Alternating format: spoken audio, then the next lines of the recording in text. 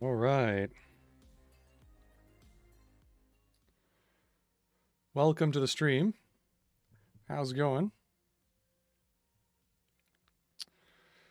I'm Agent Ultra, and we're gonna hack on some Haskell tonight. Feeling a little feisty. I've been talking about maybe doing some game dev and, Haskell. Um, and we've been doing kind of doing like an adventure game engine, an interactive fiction engine, but I was thinking something a little bit more arcadey, um, just to shake it up a little bit. Um, yeah, and have some fun for for a bit. So, uh, one of the things that kind of like I did a, a, little while ago was um, make a, a, game in the JS13K game competition. We talked a little about a little bit. And I've been thinking about maybe doing like a serious version of the game. Um, but I'm kind of like on the fence about whether I should do it in hat, try and do it in Haskell, or if I should use like a conventional game engine, like Godot or something like that. Um, so in order to like dip my toes and increase my confidence of the viability of possibly doing it in Haskell, just because the consequences of me succeed, I don't really care if the game succeeds or not.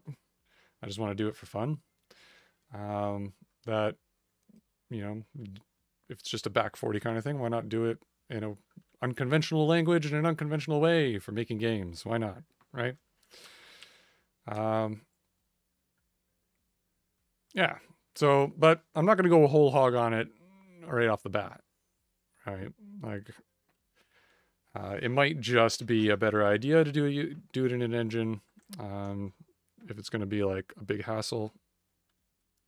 But uh, we can still like have a little fun and kind of dip our toes in and try like something a little bit more. Like we've done Snake on the stream before in Haskell, um, which was fun right? But uh, you might recall if you were there for that stream that we didn't really get the game loop like right for a, like a more phys- arcade physics style kind of game, um, which which is what the game I made for the competition is need, like requires, and anything more sophisticated than probably Snake or like something turn based is going to need a little bit more um, oomph.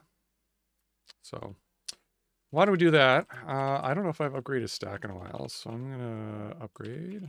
Just make sure we got the latest and greatest. I do not, so there we go, the new version. We'll update our references and snapshots and mirrors, and we'll get a project started. See if we can't figure this out.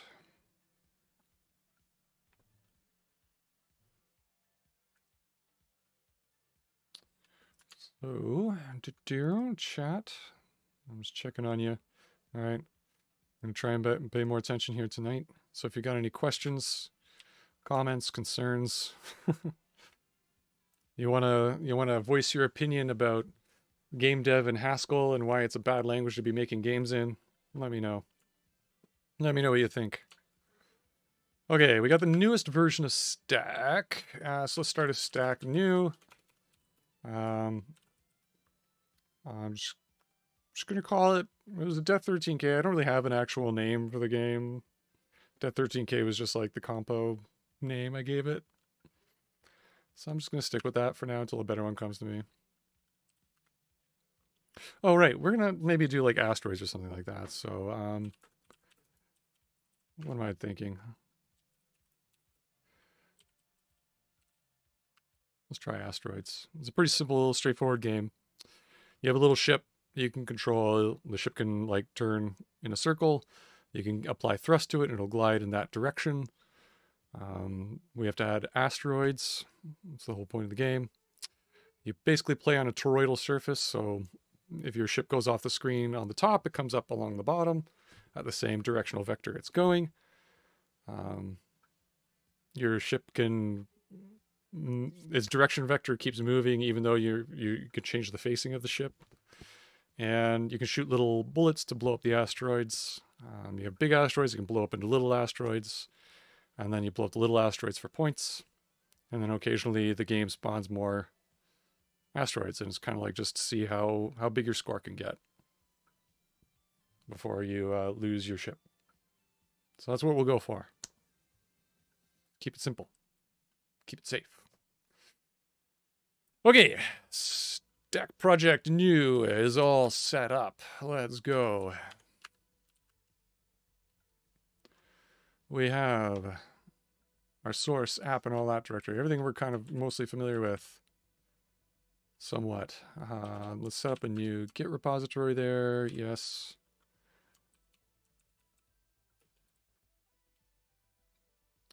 And we'll stage all of those files. Set up the project. Boom. Okay, project set up. Well done. Um, okay, so then what do we need to do? We need to go into source. Our lib uh, will, mm, we'll call this uh, game.hs. No. Kill it. No, I want asteroids game.hs. This will be our entry point module.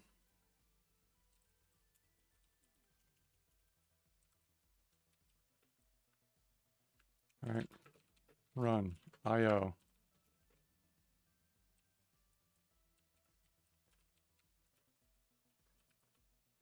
Cool, get that, and um, get rid of lib, we don't really need it. Which means we need to update the app.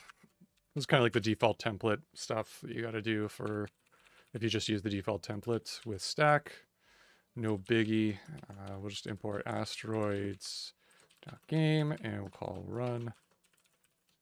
Okay, just make sure that we got that all set up right. We'll set up our build watcher. Uh, file watch. Or go. So this will just run in the background, continuously compiling our game as we make changes. Oh no. Boo. Stack turned on this morning. I don't like it. I want to turn it off.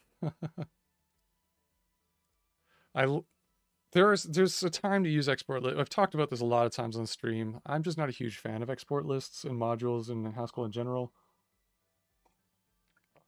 Um, you know, I learning backpack has been on my bucket list for a while in Haskell. I don't know if it's still a thing and people do, but one of the things I did like a fair bit with OCaml was like the module system. I mean, modules are okay in Haskell. They're not the worst. They're fine. They are what they are. And export lists, there's a time and a place to use them, and I do use them, but, you know, I just, I don't know. I don't like messing around with them. It's, it's fiddly busy work. It's not very fun. Um, okay, so I'm going to just load this into asteroids. Anyways, I'm getting distracted here. To do, to do. Uh, that's good, that's good. Um, so we can run our game. The default exe it creates is asteroids-exe for some reason. Maybe we could change that as well we're here. Yeah, we'll call our, our executable asteroids lowercase. That seems nicer.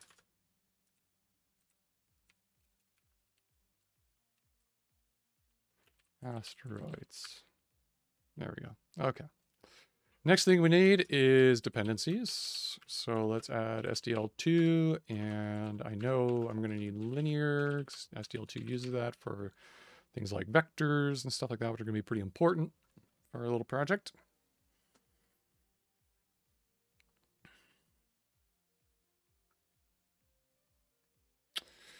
Okay, so while that's compiling, let's go to main.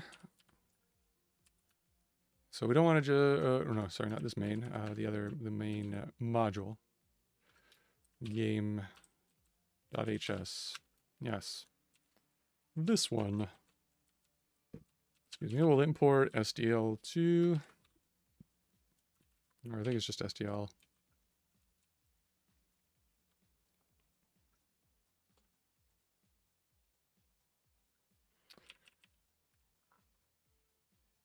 Import SDL qualified. And import some specific things. Window config, so we don't have to like prefix all of the field names of the record. It's kind of annoying.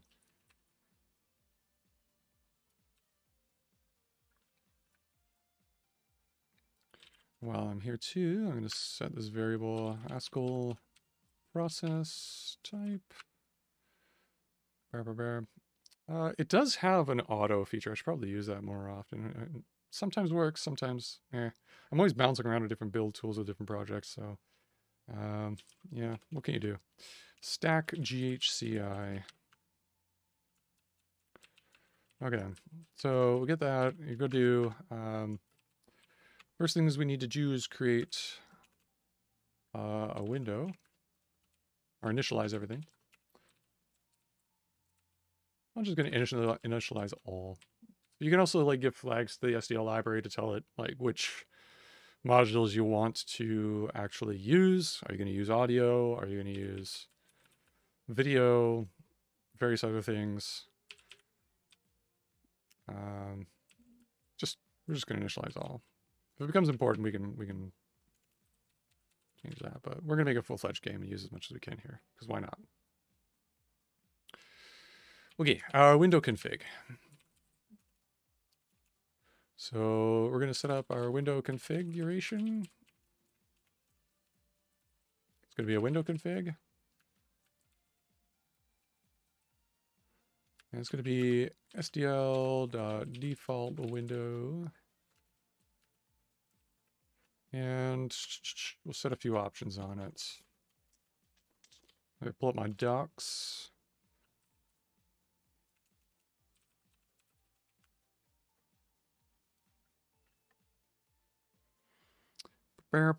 Barrel.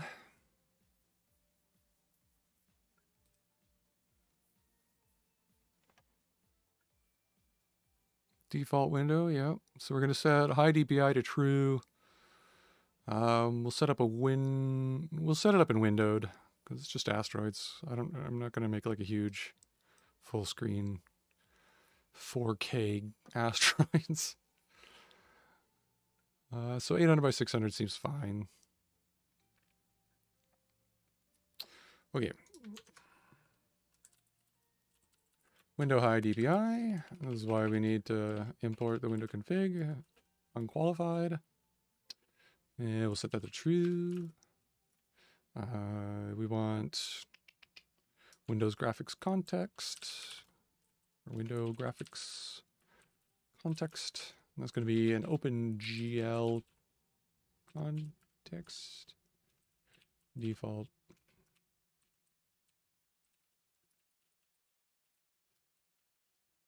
I think it's default OpenGL, something like that.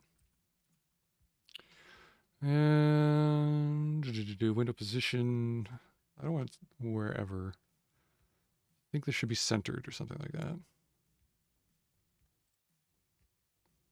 Yeah, centered.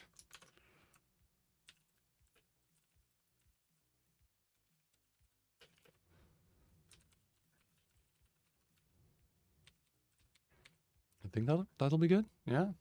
Okay. We got our window config. We should be able to create our window comme ça with uh, SDL create window. Asteroids will be the window title and window config. And then we have to remember to, we have to do something else uh, and then destroy the window.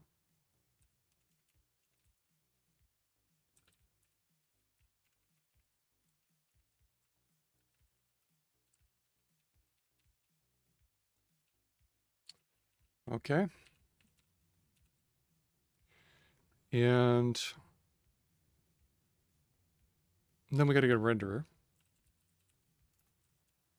So SDL uh, create renderer for the window. Um, yeah, I think it's negative one uh, is a flag to it. And then a render config.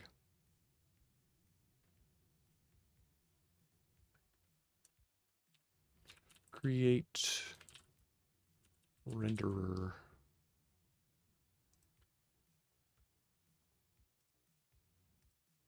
What does this unknown C1 do?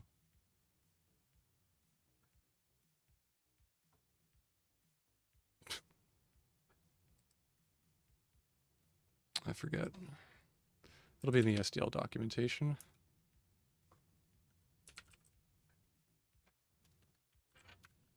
Let's look there.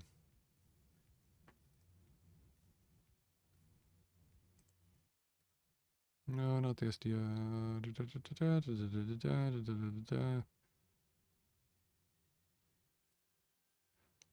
API, there we go.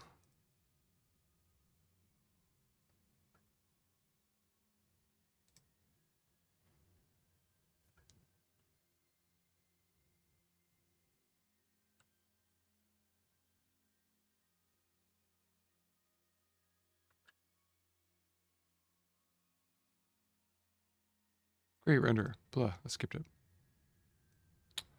Index. Okay, because you can have multiple renderers.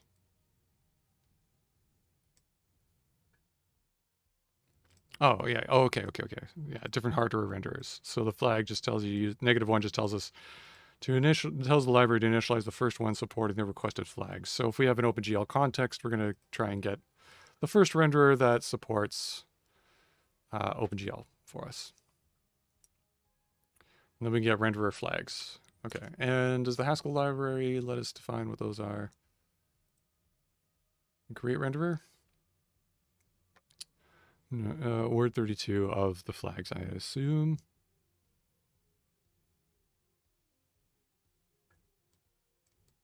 Oh, I don't want to be the source again.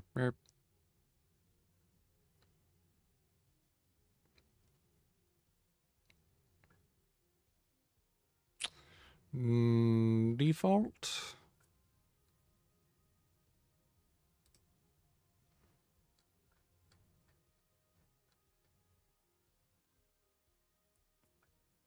Oh, create window and renderer. Good times. Good times. Do do do do. Um, yeah. Renderer config. So the default renderer create an accelerator renderer, which is what we want. Okay, so the default SDL uh, default renderer. Okay, then we have to destroy the renderer as well.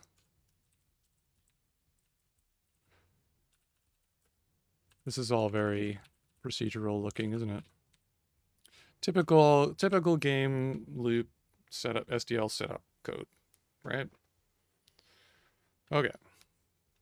So then program goes there in the hole, right? Draw the owl. Oh, we're going to need overloaded strings, of course.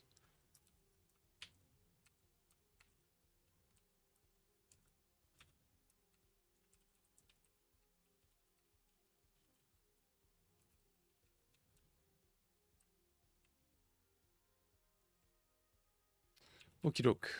So uh, we need to do something here. Uh, let's let's just do the simplest thing we can possibly do. Uh, we'll display a black screen. Uh, render draw color.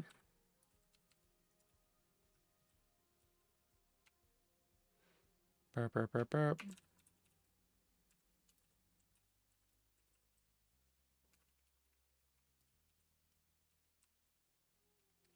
Uh, draw color. Fill color. Color. Oh, what's the darn function?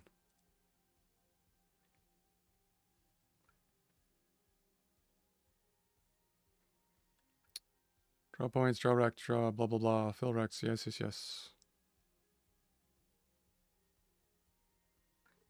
Okay, renderer draw color. Okay, that's what you call it. Renderer draw color. Okay. So then give the renderer and we have to use this um, state stuff. It comes from SDL.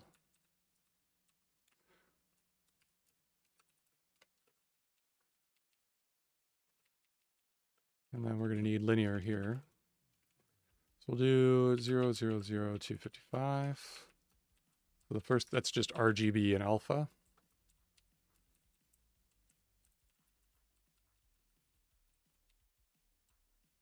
I'm going to go ahead and import control.mo uh, concurrent. Uh, just for thread delay.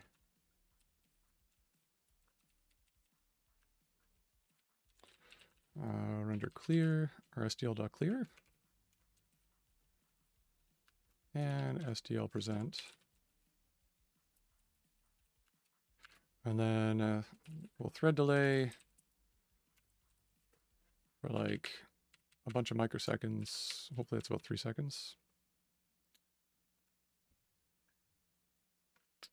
This is warning. Oh, this stupid export list thing again. Okay, so that should be runnable. And we should get a window. Presents us the black screen.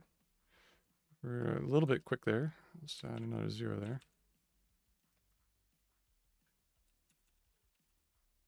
Bow.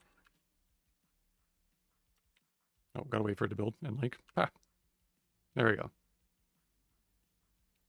Doesn't accept input yet, but there you go. All right, window, done.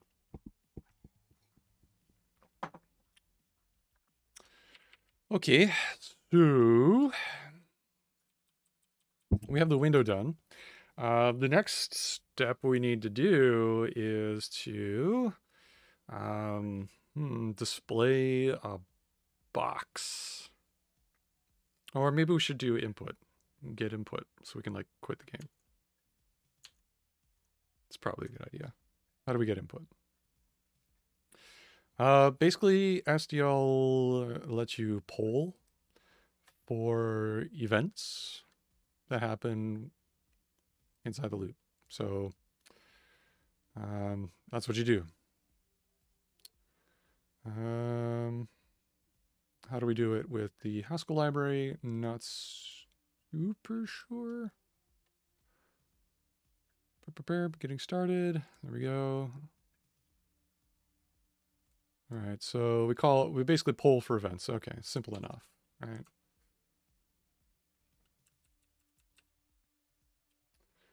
Okay, so why don't we get rid of that um, thread delay stuff? Well, we'll, we'll, yeah, let's get rid of the thread delay. Let's get rid of it. And eventually we're going to have some kind of game loop. So the game loop will give the renderer. Okay. And so it'll be renderer, SDL.renderer to IO unit.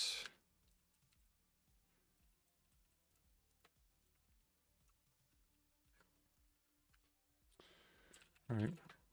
We'll have a function that takes the renderer at the end and renders stuff.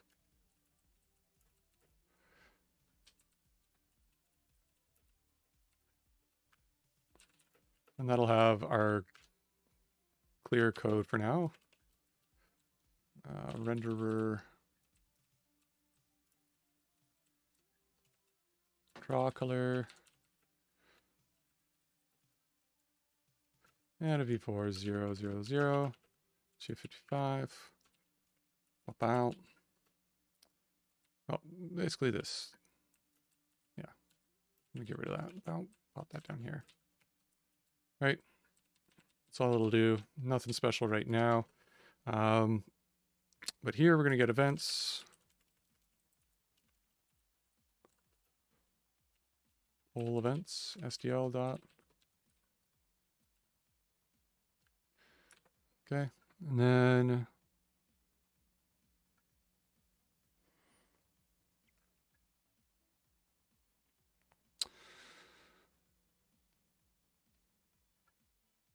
Okay, that's an interesting way of uh, filtering the events.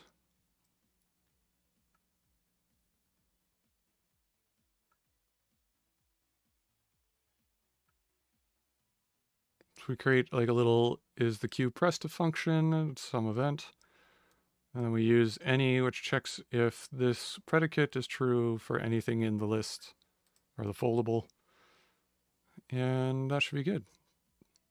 Okay. Let's just take that.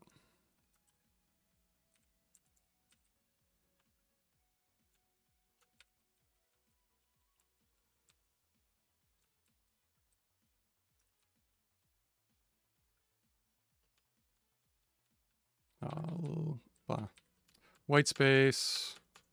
Yeah. Fix all that.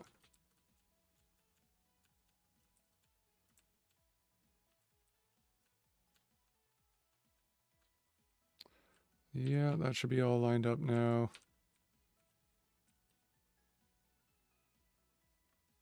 And then we just have to fix the names here.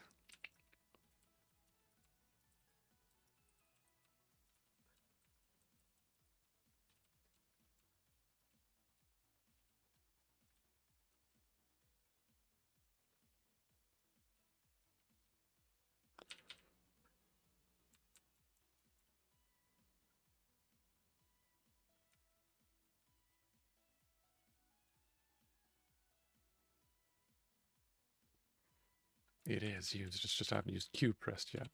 Okay. So then we basically check later on at some point, unless Q pressed. Yeah, okay. So we call renderer and unless Q pressed, uh, that's going to come from control.monad. Then we loop again with the renderer.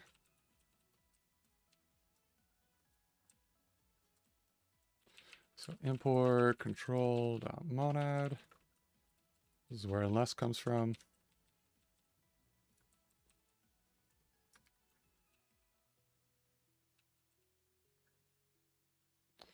Okay, so now when I run this program, it should keep looping until I press the Q button. Uh, I'm already there. Let's run a stack. So I'm not pressing anything. I can press Q on my keyboard. I should quit out. There we go. Try that again, just to make sure. Yeah. Okay. So the window just didn't have focus. Didn't have focus when I brought it up. Um, I think there might actually be a window option we can set. Um, that the that it should grab focus when it's initial when the window comes up. Do do do do.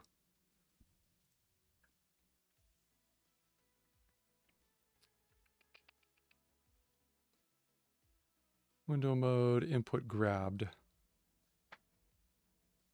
No, uh, not not not necessarily the window. Um, with the mouse, not necessarily grabbing the mouse and restraining it to the window. Window visible, default's true, yes, that is good. Visible position, da da da da, window mode. Yeah.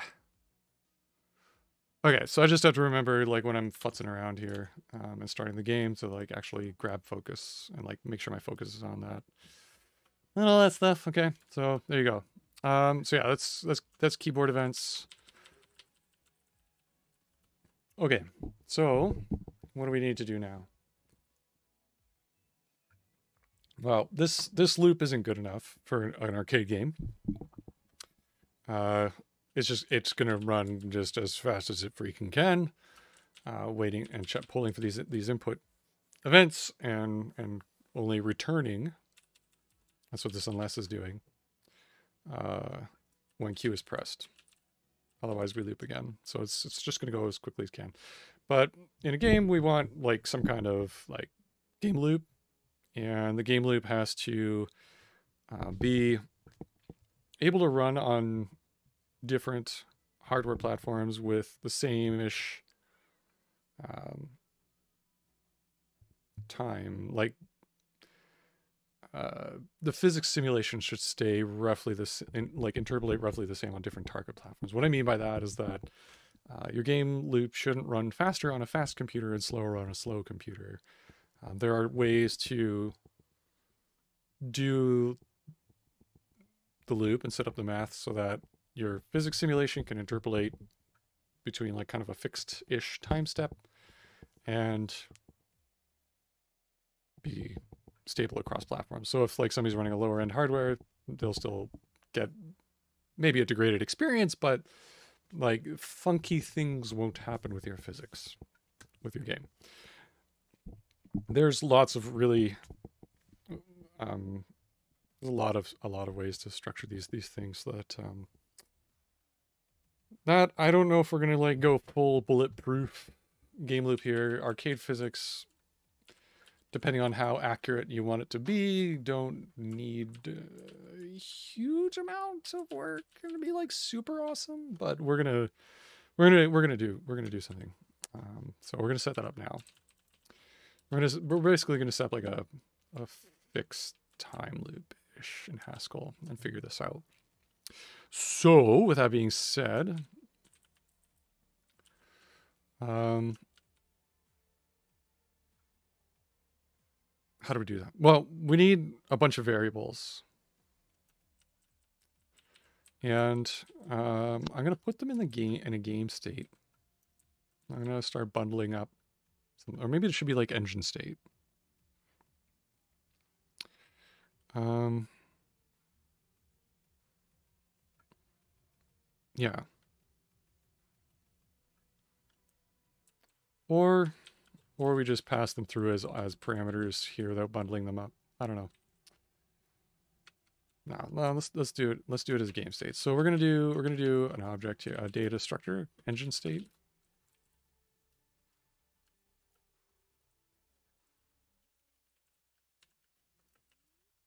It's gonna have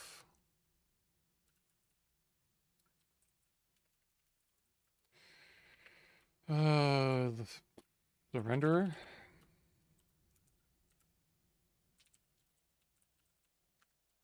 What else should it have? Engine state. It's going to need the ticks. So we're going to keep track of, the ticks are going to be like the total elapsed time of our game as it's running. Um, so like a pretty big integer.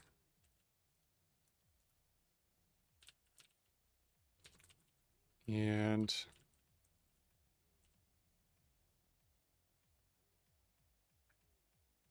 We're to need time.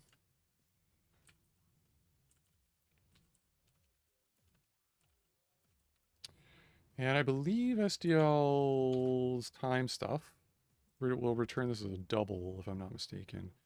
Um, they're used to, in the older versions of SDL, like you'd have uh, this ticks function which would get you like a 32-bit integer, I think word 32, uh, which would be the number of milliseconds. This is an iLibrary initialization.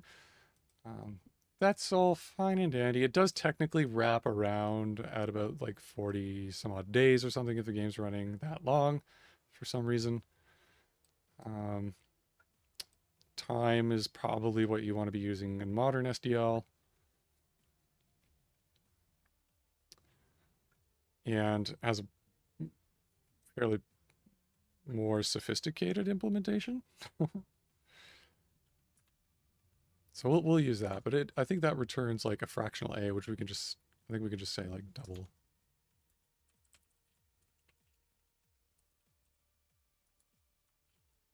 Uh, engine, state, um, so that's current time, ticks, uh, what else do we need?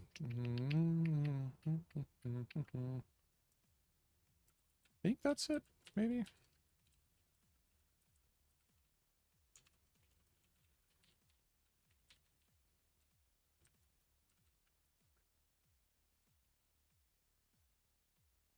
Oh, accumulator. We need to accumulate. Um, yeah. Um,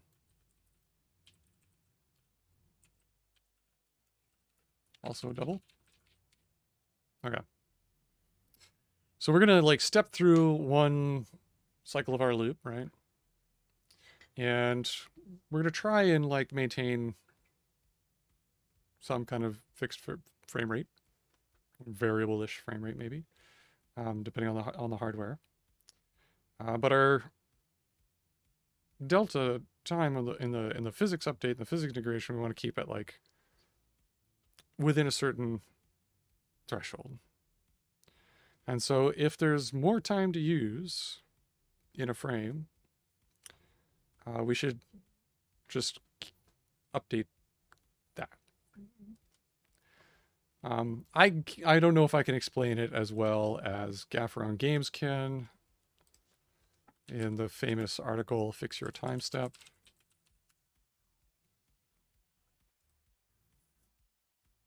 This is a legendary article that kind of goes into, I think it's a legendary article anyway. I don't know if it's actually legendary.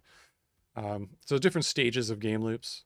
And these are all pretty good for like 2D games. Uh, 3D is a little bit different. But a lot of the same principles apply. Um, I don't know if we, we're going to go to this level. This is like power level 9000. Uh, but we can we can try and get get to this one. This one's pretty easy. So yeah, we need the current time, the accumulator, right? So this is our main game loop, and this is like going to be our physics step here. So like that little integrating that fixed size, slice of time into a, into our game state over time is how we're going to do that here. So we'll let, basically let the physics run as fast as it, as much as it can in a frame uh, then we render and loop again until the user presses the, that special Q button. Yeah. So, uh, how do we translate this into Haskell? This is another another interesting skill to try and pick up as a Haskell programmer. I think um, is like you see loops like this, and a lot of people will get used to programming like this, where you have you know, like a program counter, and you use these statements to like control where the program counter goes and how it behaves throughout the lifetime of your program. Um, and you think, and you look at Haskell, and you're like, how do I even do this? Well, you kind of already implemented this this loop here with loop, right? We're explicitly passing in the renderer as a parameter to the loop function. Um, but it calls itself, right? This is like our while condition. Should we loop again? Right? Our condition is if the Q key is pressed. Or, oh, sorry, if the Q key is not pressed, then loop again, right? So if don't, if not quit, loop again, right? Um, so basically when you try, want to translate while loops into, into functional type stuff, you can recurse in Haskell pretty well, at least in, and I don't recommend doing this style of programming if you have like a, a language where you don't have, um, where the language isn't going to do, um, um, the the loop the the recursion optimization um, that you that tail call tail call elimination.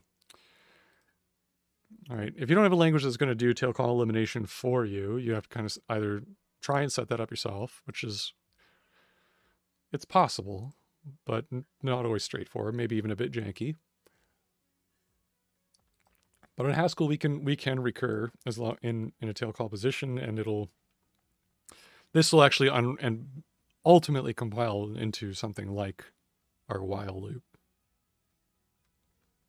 So check check your your condition and then decide to loop again or not, basically. Loop or return. All right. And so when we return, we don't have to return a value or anything like that. We just return unit. Um, and the type of unless is, returns unit. So that's why that works. You can even see that down here in the bottom of my screen take some boolean there, some something in a monad unit returns a monad unit, right? So that's what loop returns a monad unit and returns a monad unit. Uh, this expression returns a whole monad unit. So that all hooks up, right? Pretty straightforward so far. Cool, cool. Um, so that that's cool. So then uh, we're basically going to translate that we're going to need to the other part we're going to have to do is we're going to do this again internally here. And we're going to have to handle all of this uh, assignment stuff. So C and C-like languages have this wonderful property of being able to freely assign things um, and this assignment operator. So it's changing a location in memory over time of that. So that program counter is going through and it's checking the state of other variables in different places and, and dereferencing things and, and checking things on the stack and whatnot, doing all that kind of stuff. But, um, you know, assignments changing this thing, right? And it changes over time. You don't, this equal doesn't mean that accumulator is equal to 0, 0.0. It means give this value 0, 0.0 to this, the name of this thing on the stack, right? Or if this was like maybe a whole C file, it would be like some kind of global. Right, and so we can we can change its value over time with this whole thing. Haskell's immutable. It's a functional programming language. We don't necessarily have this luxury, but it doesn't mean we can't buy it back um, with some tricky trickiness. Um, I don't know if we'll get into that. Maybe we will, because this is actually kind of kind of nice in some situations to have um, the ability to express um, this change over the state of the game engine so like changing the state of the accumulator and things like that. Um, this, I, I, find this is actually kind of a nice syntax for doing that. Um, it's just, I don't like it in the C-ish context because like it introduces its own, well, it's fine in C. It's, it's a thing. It, it, it's its thing. It's its own thing. It's kind, it can be kind of nice in Haskell, but it can also be kind of not in vanilla, boring, plain Haskell without any helper stuff, which we're we're going to do right now. So how do you translate this into Haskell is is the next step, right? Like how if you see an article like this, like how do I translate current time and like setting a new value for current time with the assignment operator. Right? Hold your horses. It's not going to be pretty for a bit. we'll try and compress it back down later though. Um, so essentially, we're going to have to uh, create some kind of default value for our engine state, some kind of setup, uh, init engine state, where we give the, the values for these things. Right, that's kind of what this punk this is all doing up here, kind of initializing the state of the program, the the the ticks. Um, this is a constant. We should have that too. Um, the delta, the kind of the size of the slices we want. The Current time and, and accumulator. All right, so we're going to put all that here. All right, in this explicit function that's going to construct it for us.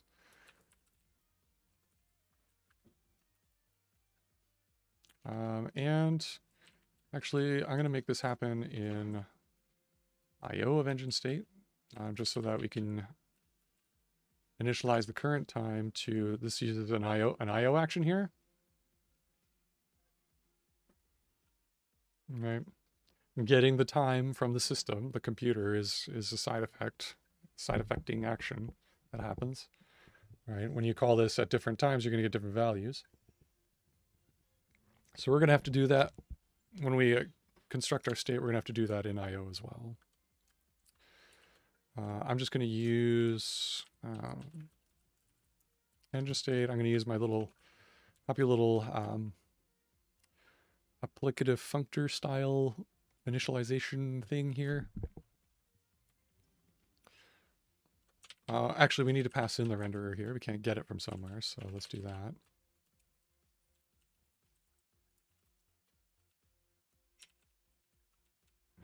So this will be pure renderer. Our next value will be ticks. That'll be pure 0, 0.0, right? Just like that. And we need to initialize the current time. So what, this is where we need the IO action, why we need this kind of functory applicative pattern. Um, so we're just going to run uh, SDL.time. And then we're going to set the accumulator's initial value as well.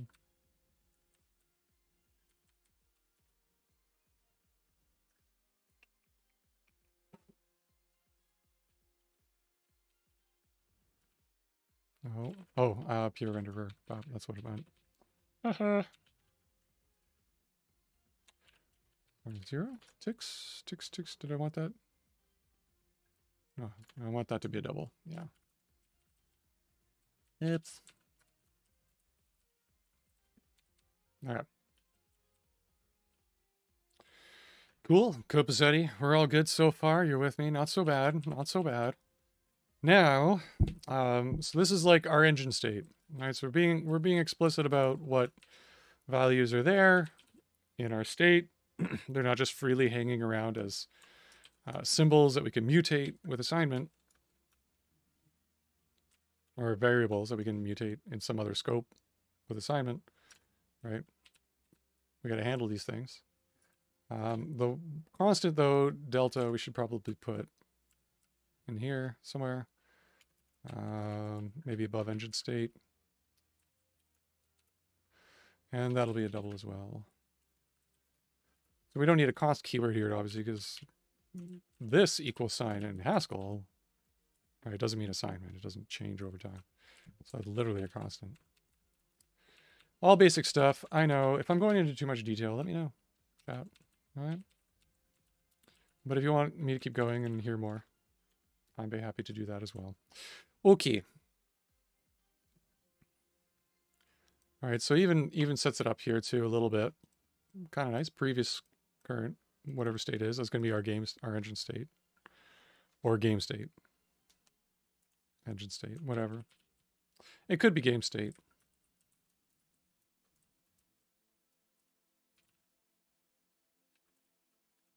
Maybe we'll rename it game state.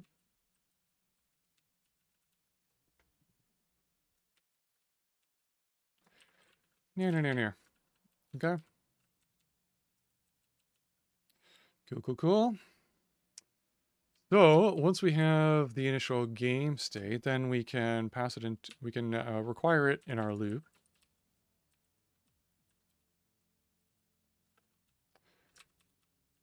Uh, we're going to ignore it here for now. Uh, we just got to pass it in. We got to initialize it first. So we'll just do that. We'll bind it uh, init game state. Renderer. Uh, actually, we don't need the renderer to pass in as an explicit here anymore because it's contained in the game state. So let's get rid of that.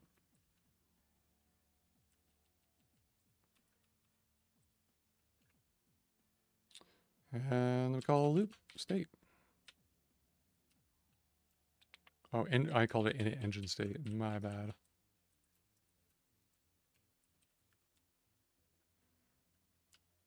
Okay, there we go.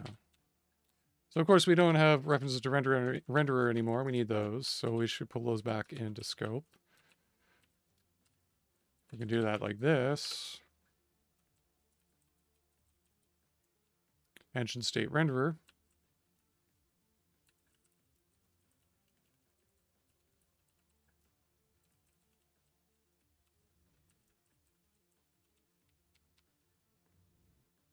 Or I could just use record wildcards.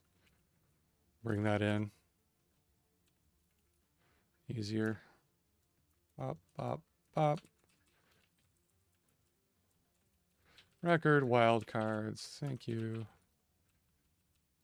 This lets us, um,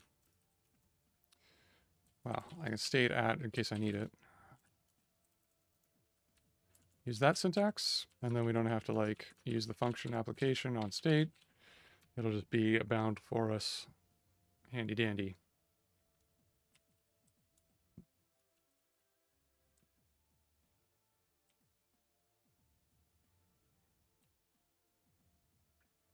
Yeah, so like an extra binding, we can just replace renderer game state renderer.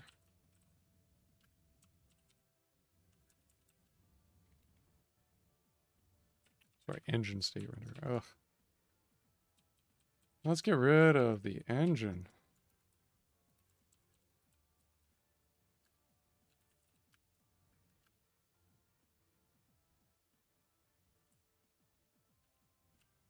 No, no, undo all that. Sorry, sorry, my bad.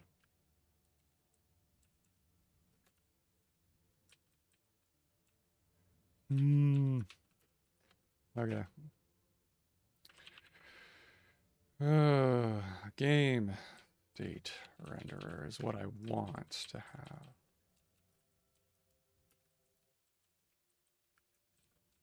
Okay, fine. We'll do it like that. Prepare. And so we no longer pass that here. We pass state. Okay. That should fix that. Okay. Cool, cool, cool. Cool, cool, cool. All right.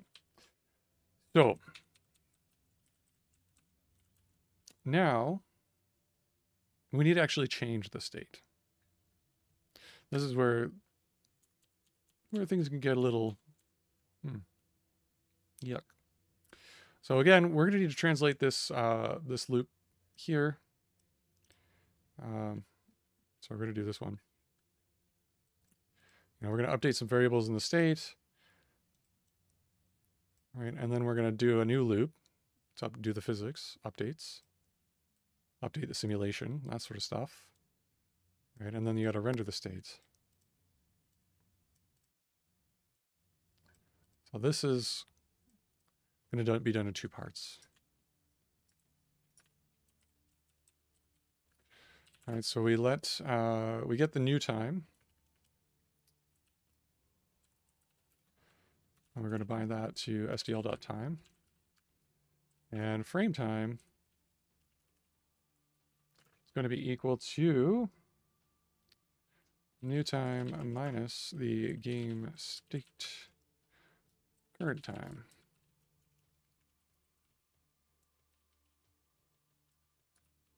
All right, so this is the total amount of time that has elapsed uh, between frames.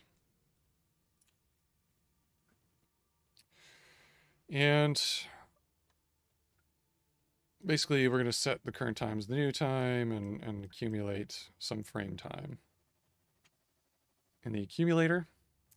And this loop is basically going to decrement the accumulator, updating, accumulating a little slice of time each time we go through the loop um, integrating, updating the physics state. So we get that stable update in our simulation where the difference in time is fixed, semi-fixed, mostly fixed.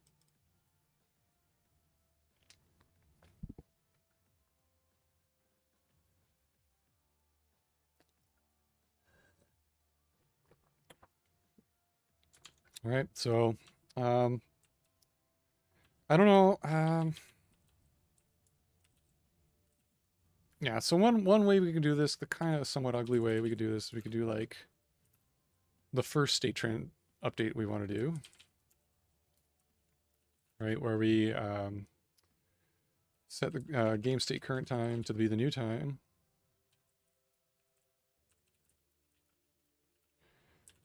equals uh, new time.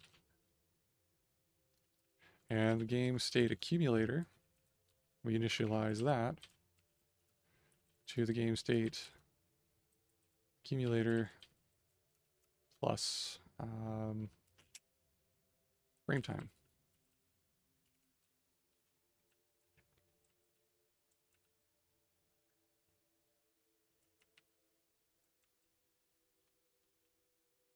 And basically, then we're going to have um,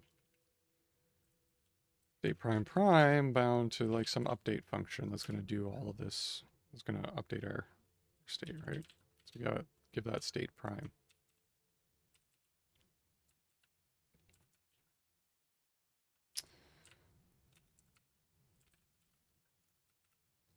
So that's going to take the game state, return a new game state, or new IO game state. It doesn't necessarily have to do I.O., I don't think.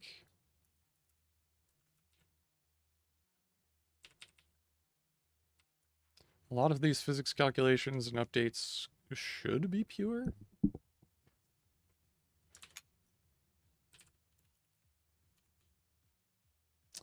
Um, so actually, we might not need to bind it like this. We could potentially do it like this, maybe.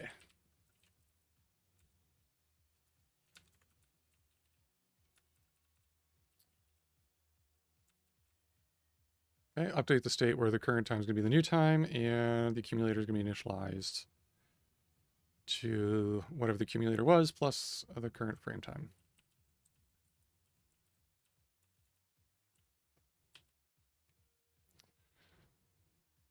And so this is doesn't need to be IO. This could be game state to game state.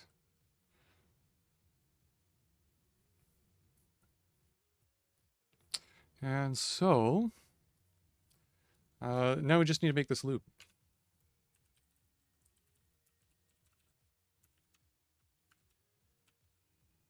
Okay, so how do we translate this inner loop here? All right, we can do the same thing we did the outer loop, right? We can use unless for our condition here at the end, and then loop again. So unless this is true, call ourselves again. Right? With some, with some accumulated um, state. So unless the game uh, state uh, accumulator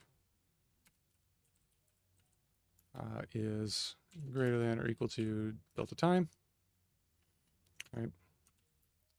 Then we update with a new game state.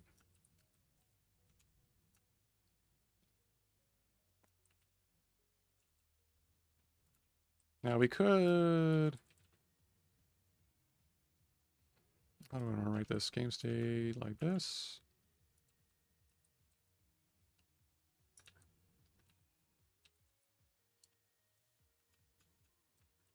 Hmm.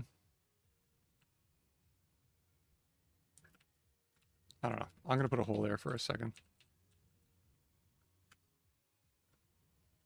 All right, so we need to fi figure out the next state of our variables um, to get our loop going. All right, so we need to update accumulator and t, right? We're going to decrement accumulator by the slice size, delta t, or increment the amount of accumulated ticks by, by the delta size.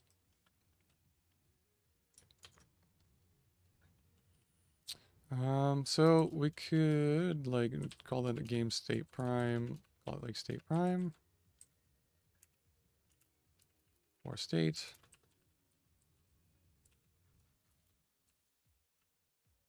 Yeah. Maybe we maybe we'll bind it like this. State at. Next state. State. All right, where? Game state. Uh, accumulator. Equals game state accumulator. Minus uh, dt or delta. And game state ticks equals game state ticks plus dt. And then we could put next state here, update next state.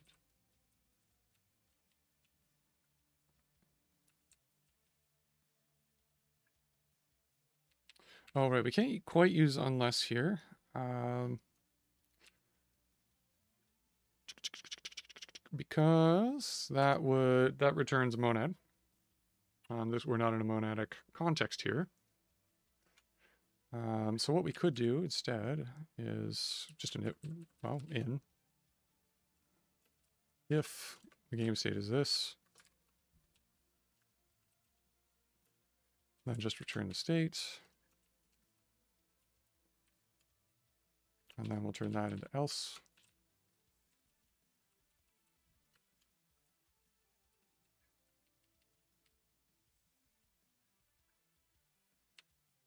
Uh, that's not delta, that should be delta. Uh, that should be delta as well. And accumulate four.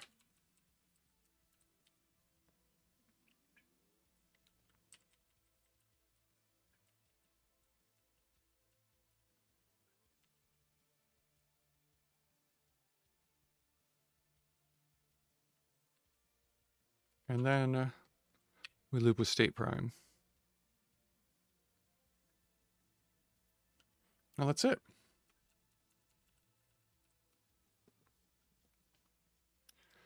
Okay, so if we run this, this will run until we press Q again, I believe. But how do we know this is like kind of actually somewhat working? Well, if our loop, if our update loop isn't working uh, and gets stuck into an infinite loop, we'll never get to the render stage. So we'll know it's,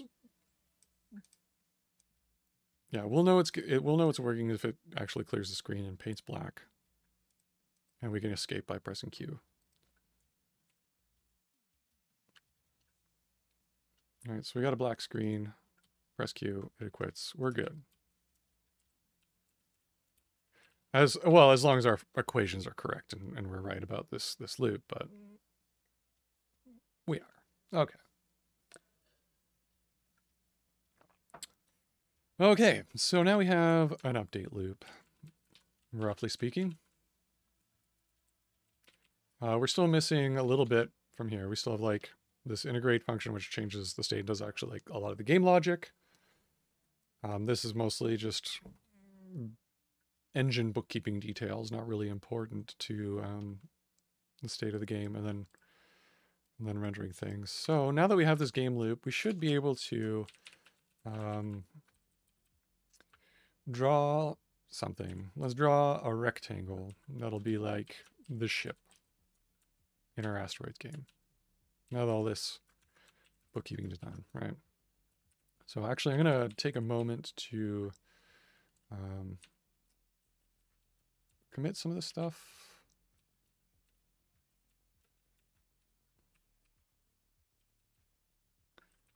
Add game loop. Okay.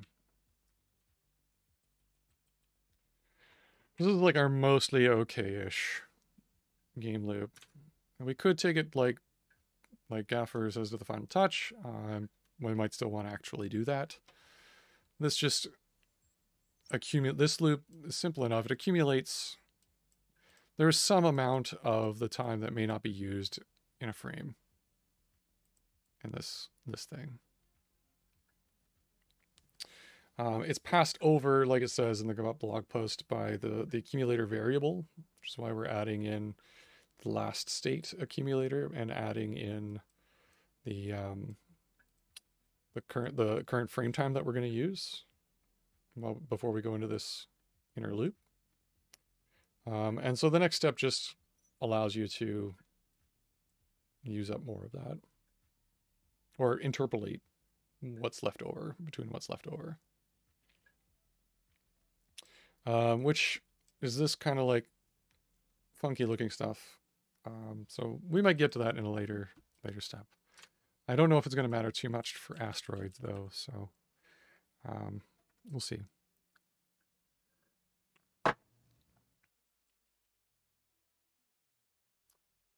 Okie dokie dokie dokie dokie dokie dokie dokie. Uh, so let's add some data for the ship. How do we want to um, put our data? We could just put it right in here. Um, game state.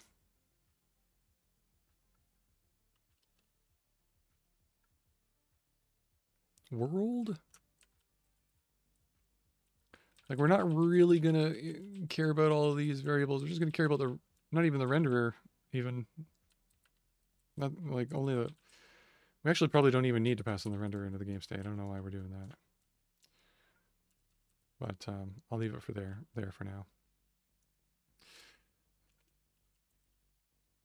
I'm just going to put it at the top level for now. I'll put this as a V2. Um, it's going to be a CInt. Just because, for some reason, the Haskell SDL 2 wrapper library um,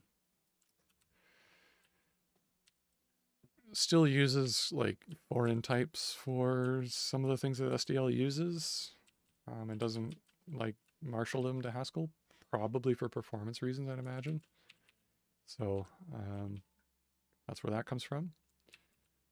And that comes from uh, Foreign.C.Types. Yeah.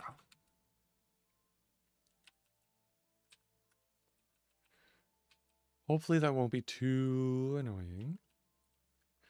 We'll have to add it to our initial state here. So we'll go pure um, v2 and we'll start at like, I don't know, 2020, say.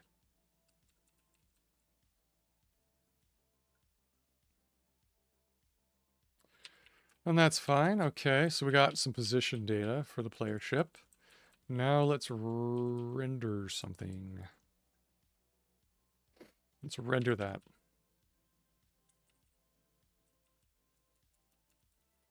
So the renderer that gets passed down here, uh, we have, we clear the screen. We should now be able to um, SDL renderer draw color. Renderer. Let's, I don't know, use red. Let's make it really stand out. 255. And then we need to call fill rect.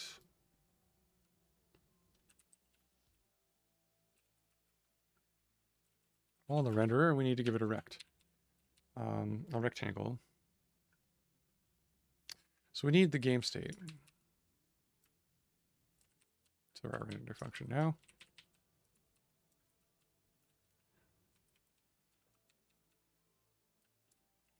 Which is probably why we wanted to have the renderer in there.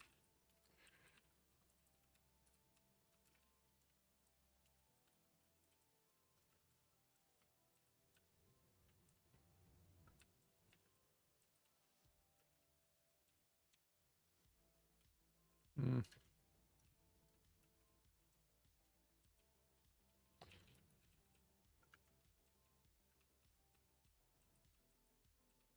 And these ones.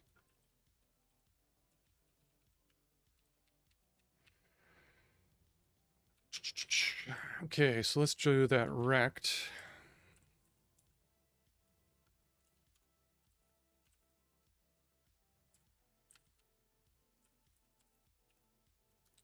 We'll just do, we'll just draw the ship as a rectangle for now. Like we're, we're just trying to get a rectangle on the screen here.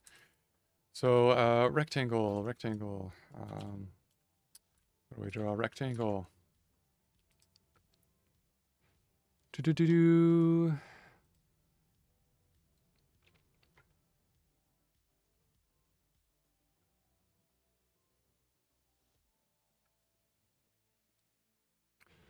Renderer. I believe it's fill rect. Yeah. Okay, so it takes the renderer a maybe rectangle seed. Okay, so that's a little bit more information. So this will be adjusts.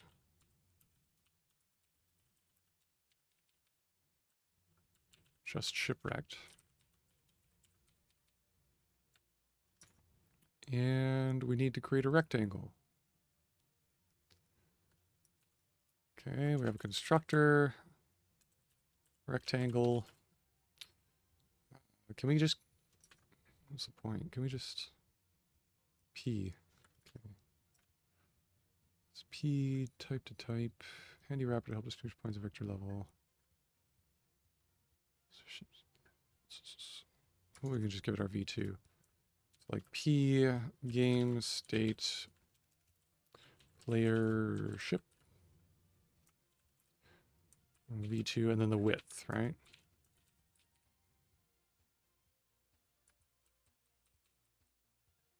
What's wrong with this? Oh, SDL dot.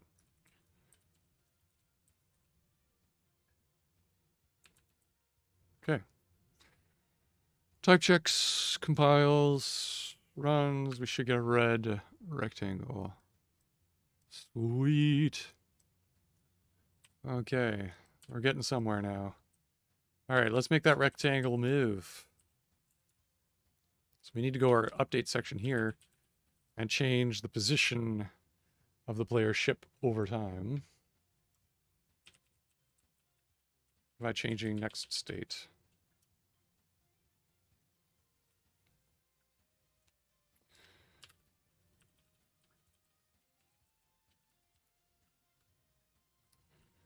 Uh, game state player ship. Oh, can I add v2s together? Probably, hopefully. Num num num num num.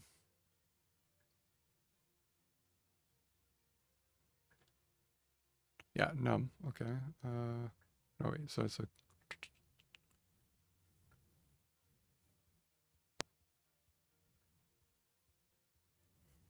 equal them, order them, show them, traverse them, functor them, monad them. Mm -hmm.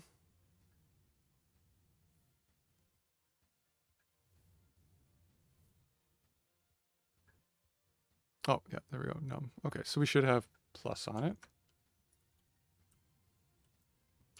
We'll take another V2 on this side, and we'll just add one on the X axis. And we'll just make it go across the screen like that. And this should be fairly smooth. Uh, I'm kind of slow, probably. Okay. But is not changing. Did I run it before recompiling, maybe?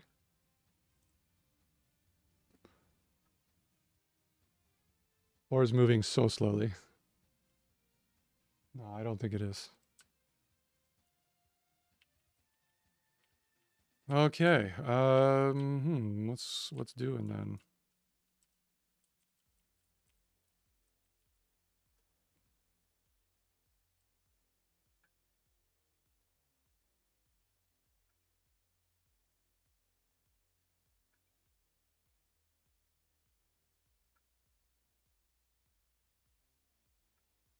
I know what it is. uh, we introduced a bug when we switched from unless to if. I think we just need to flip that sign around.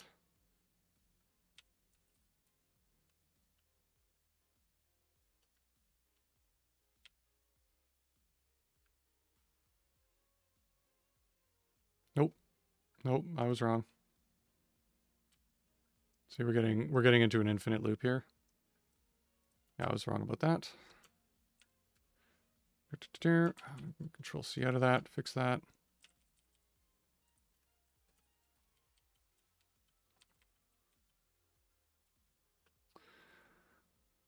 Let's see, did we, yeah, we accumulate, we subtract delta from the accumulator, add delta to the game ticks.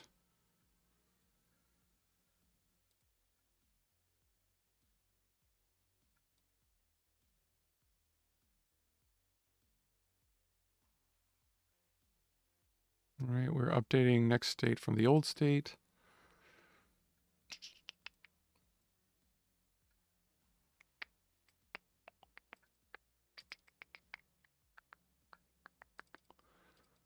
Uh, let's see. Uh, we could do. Hmm. Let's just. Well, this is an I/O here. Why don't we just um, do a quick little dirty putStrLn here of the um, player ship?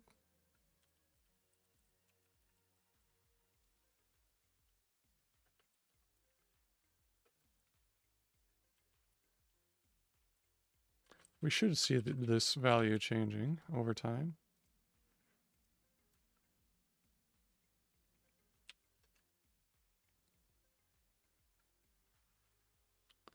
It's staying at 2020 though. Okay.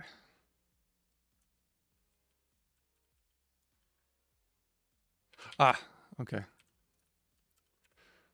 Next state.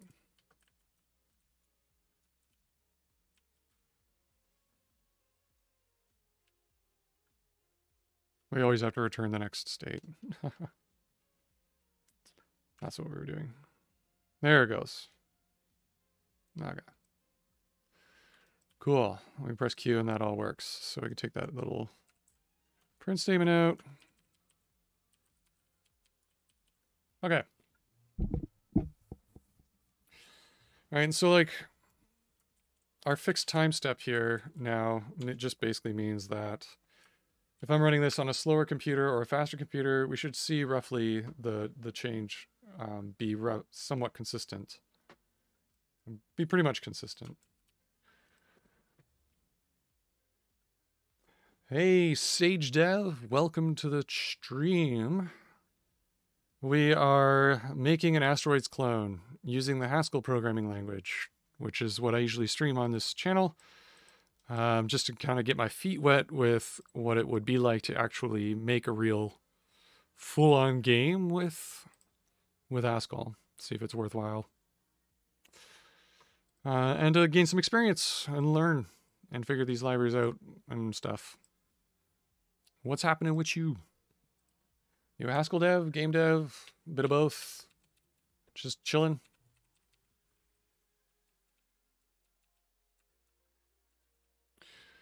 Okay, so we can change the X over time, which is great. Um, but for like an asteroid ship, we're going to want like uh, propulsion, so like some sort of velocity. We're going to want a velocity vector, not just our current position. Um, we're going to be able to like turn the ships. We're going to have to apply some kind of rotation vector to it or some rotation matrix to the vector to, to turn it. Uh, all these sorts of things. So let's get the ship moving. See how, much, see how far we can get with this, though. Um, because my stream time is running out for tonight. Got a bit of time left, though. Um, so why don't we take a pause here to commit this. Pretty decent chunk of change.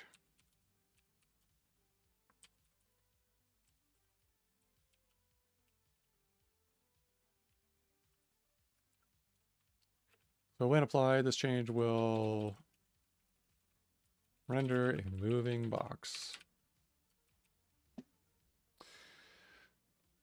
So you're a full stack dev. Started off in the front end, worked a couple years, Clojure, nice. Fell in love with FP, good stuff. We love FP here. No Haskell experience, but interested to see what it's like. That's what this stream's all about, friend. You come to the right place. So welcome. Yeah, my primary my primary motivation for doing this stream, which I do once a week, um, is to show what it's like to work on a Haskell project. And in a way that's like not just like a tutorial introduction to Haskell, like let's build real stuff and make things work and figure it out. So, hope you enjoy. Um, if you have any questions, feel free, of course, to stop me and um, put them up there because I, I love explaining stuff. And I'm happy to.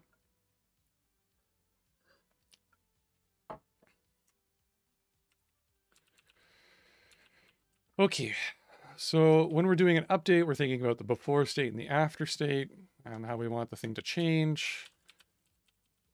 Um, so we, what do we want to do first? Let's get, should we get turning working first or propulsion going first? I think maybe turning, maybe. Although I don't know how to use this SDL rendering library to rotate things, actually. Can you rotate cubes or boxes?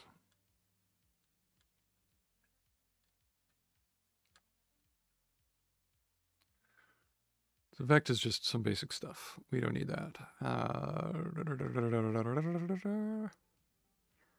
renderer.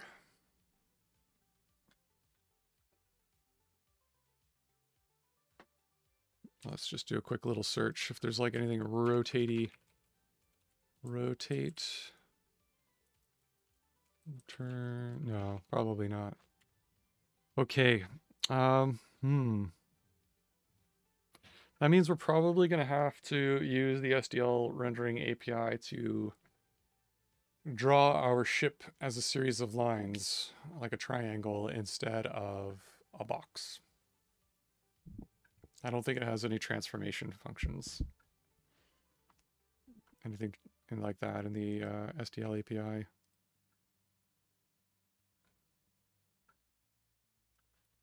Right, render... Uh, transform, rotate.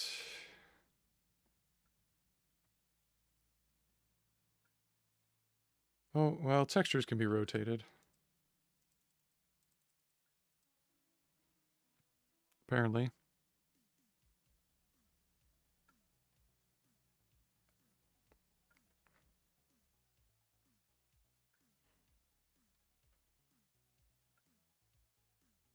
I mean, if we have to, like, track all the points for the triangle and do the rotation ourselves, and the math is fine. It's not that hard.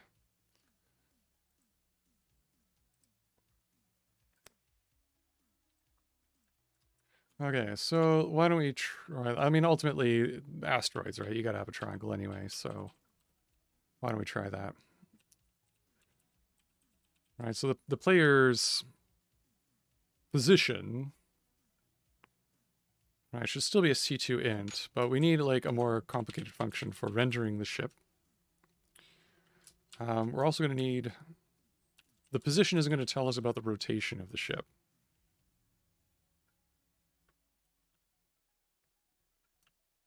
All right. Um, we should be able to store that rotation as a 2D vector. All right, and then we just need the unit of that vector to say like where on the circle it is, you know, get the, do the radian calculation to figure out where it is, or, um, yeah, or we need to do, yeah, get the rotation and figure out the rotation matrix to rotate all the points in the triangle that we want to render. Fun times. So basically, we're going to need a rotation, uh, rotation, some rotation data. Rot. Just going to call it rot. Ah, I'll just call it rotation. V2 of C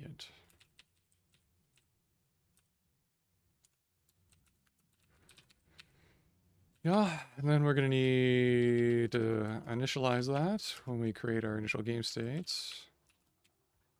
It's going to be a unit vector. So a unit vector is like a point on the plane, right? And you want to know, like a vector can rep represent like a, a magnitude, like a spot that points to a place and like how far it goes, but the unit one constrains it to just between zero and one. And the idea is that you, you just inside the unit circle, you just want like the it helps you get the rotation of something on a 2D plane, basically. Terrible math teacher, I'm sorry.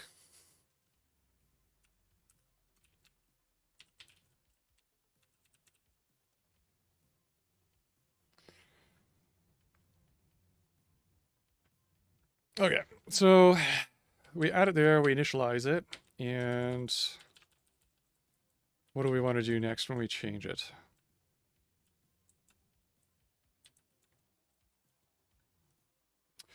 Ooh. Before we do that, let's let's render the triangle itself. I think we should.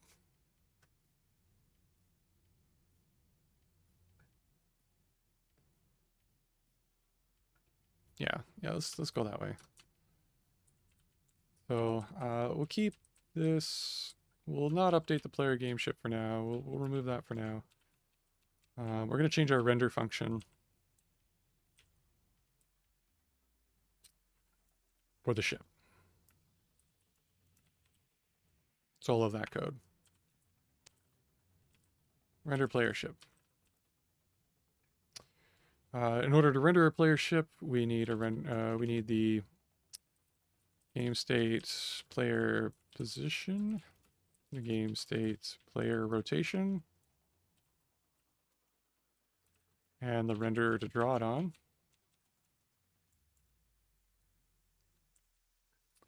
Which will be not renderer, game state renderer.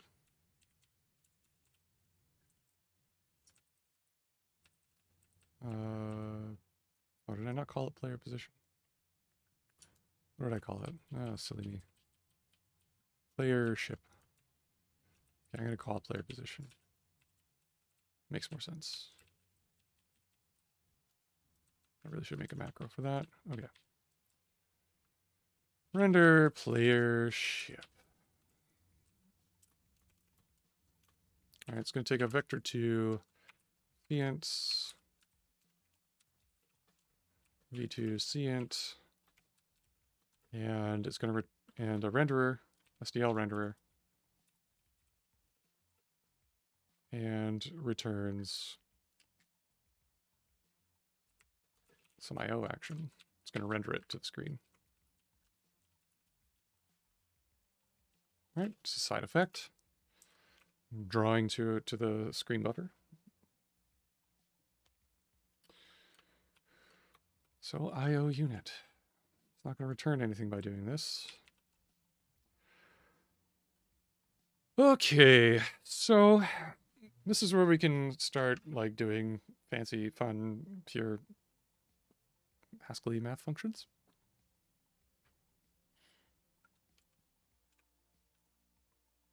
We got the position, pause, and the rotation. I'm going to write it out in full. Okay, I don't know exactly what's going to go in there yet. All right, but from this, we want to draw a triangle. In order to draw a triangle, we're going to need three points and a way to draw lines between them. We have render draw points.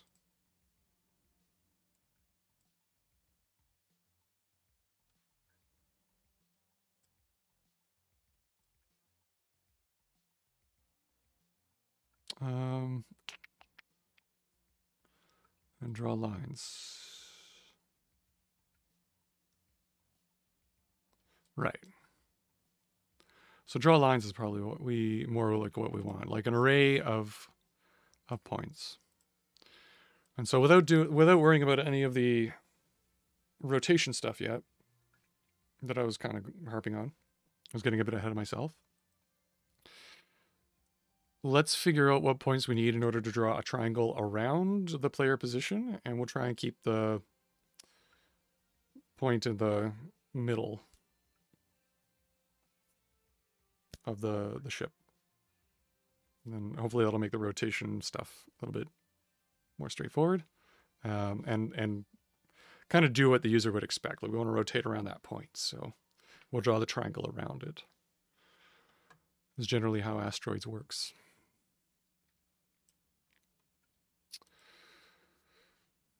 And so when we give these points to draw lines, do we have to...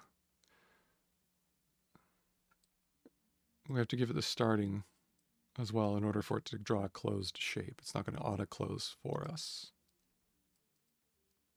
Okay, so we have to give all of the points, looks like, and think of it statefully, I guess. All right, well, uh, let's take a stab at guessing some numbers and seeing what we can uh, come up with. Oh wait, I already have the documentation pulled up. Uh, draw lines. Okay, so it takes a vector of c point uh, v2 c ints. Um, storable vectors. Okay, so we're gonna need the vector library. That's probably already a hidden dependency, so this will be pretty quick.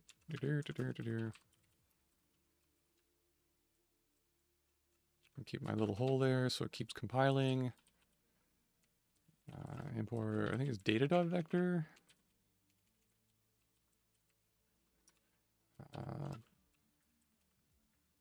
just import the type and then import qualified uh, data.vector as v in case we need any vector functions. Should probably move that down there, that down there.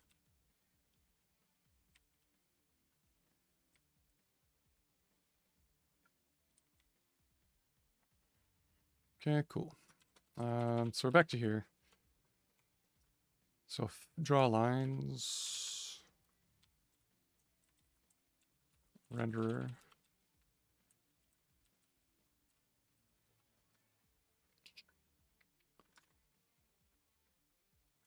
And um, the vector as a v from list uh, probably won't. Well, we'll just use this for now as for like testing and to make sure we can do like some points. What's the problem with this? Oh, it's not the right kind of vector. Oh, you want storable vectors. Okay. Where do I get those? Data.vector.storable. Okay.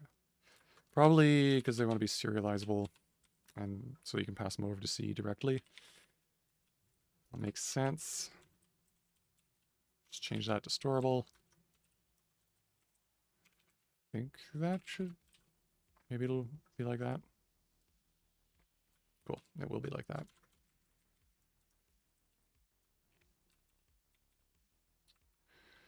Okay. So let's imagine from, I'm going to start my point in the middle and I'm just going to draw the position, the triangle as if it was facing the top of the screen. Um, so half, half the height we want the, the triangle, I guess will be, all right, so we want our height to be like, say 20, that'd be like 10. Um, so we got to put v2 points of v2 CInts. Okay, so that'll be like a p, um, our v2 position plus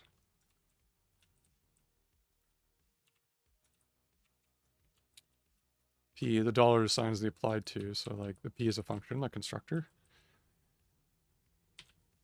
Position is a vector, a v2 of c int. We're going to add another vector to it. Um, that's going to not change the x, but we're going to add to the y um, negative 10. We want it to go, this, this to be the top point.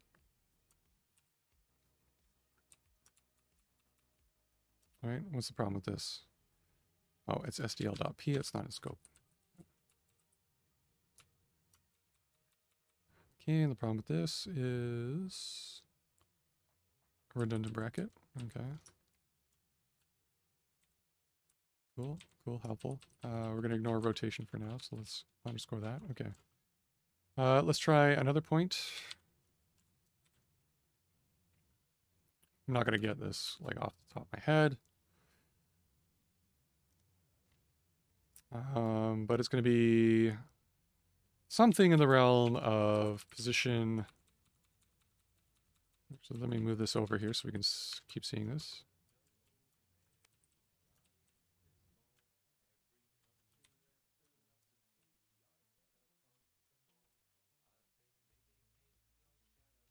This. Okay.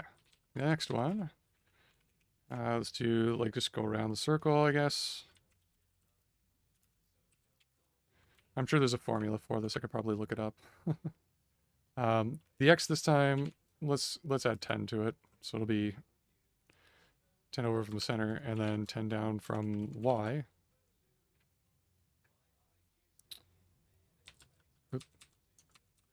Get rid of this.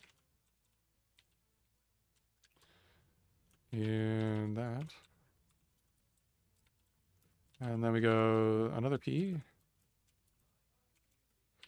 Position, V2. Um, so the left now.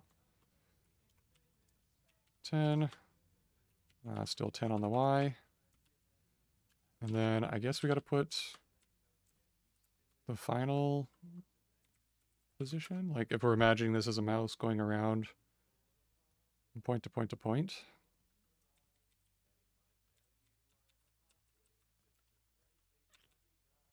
So let's just copy and paste that over there. Um,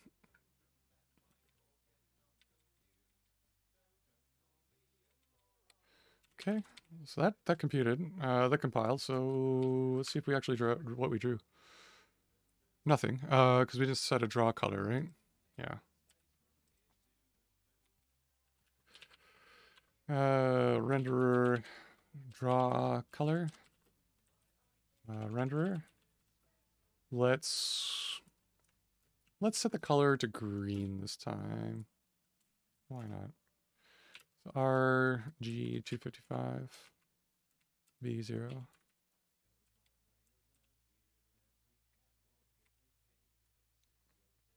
Uh, we need to do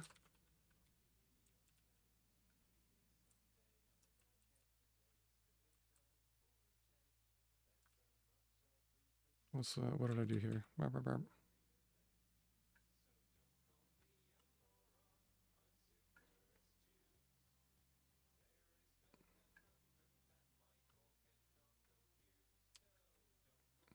Hmm. Um. Not expecting this type error. This is kind of weird. Uh, what did I do? Not enough arguments to v4? No, it should be... Oh, v4. Yeah, no, v4 is right. One, two, three, four. That's, that's good.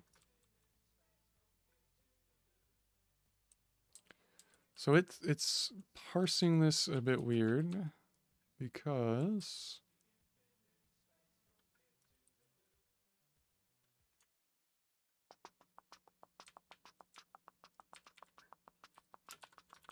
Why is it... Why? I don't understand what I did wrong here. What's going on? I was not expecting this. Renderer. Did I type renderer wrong, maybe? No, it's coming back. Okay. Maybe it's... Oh, it's this. Okay, that's what it is. Okay, so... That sucked. That was not a good type error. Um, that's a... And the reason why it looked funky to me was because um, when you use do syntax, you're like going into like a it's kind of like a Python mode sort of type thing. It's it's I'm not gonna like explain monads or anything, but um, it's indentation oriented is what I'm getting getting at here. So each you can think to simplify things, you can think of each line has to be like one IO returning action or function, right? Something that returns IO on each line in the do, and it kind of, and then you can do another one on this line, another one on the next line, and so on and so forth. Um, the final line has to be like your IO return type or whatever. And it was giving me this funky type error um, when I did this. Uh, but the type error kind is kind of like weird looking. Like no instance for control.monad.io.class.monad.io arrow vector. What? This looks like line noise. What does this even mean? Right? And the error is even being reported on this line way up here um, because it's basically it's getting confused about the the parse of the do block here. Right, this is a perfectly cromulent I/O action. So when I was looking at the line up here and why this error is here, I'm like, this isn't right. Something's not parsing right. Um, is kind of the intuition I've built in my head around it, I guess. So generally you haven't indented something right or you haven't applied enough arguments to something on a line and you get these kind of like odd looking type errors on a weird line in a do block. And that's kind of my trigger for, I guess, noticing those. I don't know if it always works, but it's a pretty good heuristic, I think. Hasn't failed me for the most part. So I don't need to import the vector type just yet. Let's get rid of that. Okay, so that compiles a build. Let's run it, see what happens. Okay, we get a triangle bueno. Um, I'd want to do one quick little test and see if we actually need this final position. Or if it'll automatically like close the loop for us. It won't. Okay, cool. Good to know. Good to know.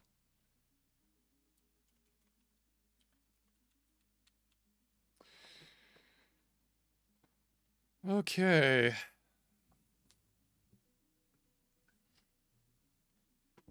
All right. Now, now, now, now, now.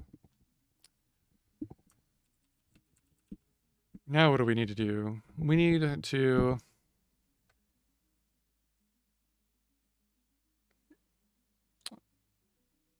we need to be able to get the ship the points that we need to render the ship and translate them based on the player's rotation. And then we should be able to change the rotation vector and then see the triangle turn. All right, so this list shouldn't be hard-coded. Let's make it a function.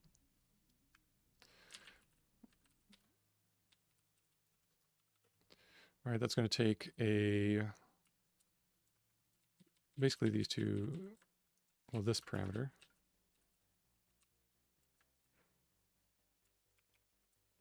And return a list of, or maybe a vector. This is where we need the type now. A vector of uh, SDLP. of do I have to tell SDLP what it is? Yeah, a, a, a point, sorry, an SDL point v2 cint.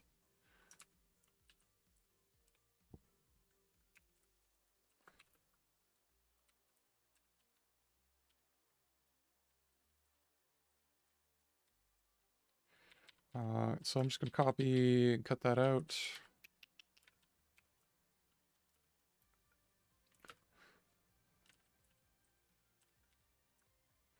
Uh, da, da, da.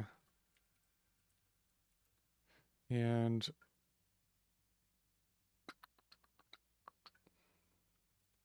nope, nope. I'm just gonna be like this.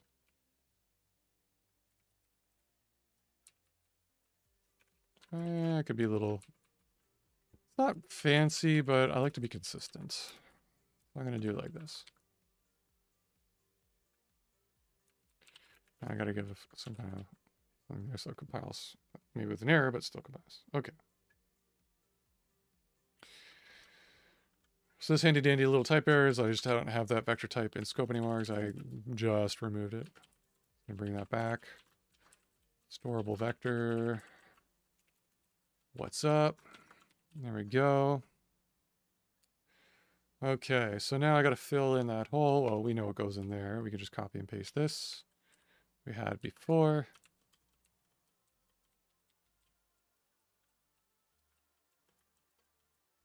I just got to bring the position name and scope. And boom. The reasoning by substitution. It's super easy.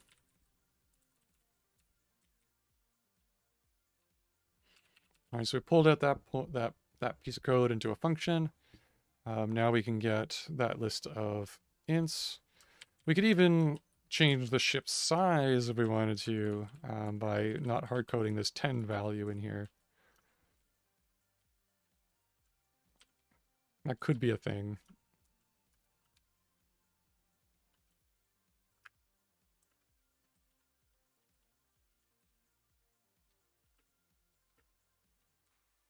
I think we're going to have to keep it a cint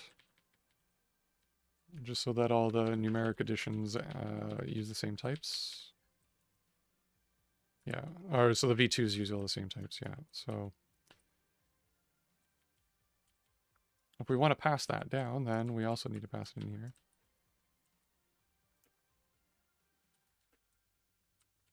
cint, and maybe pass it after the rotation, position size, rotation.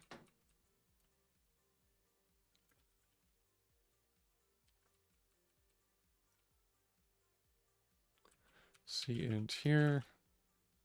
Oh, I'm not being consistent. Flip that around. Position. Size.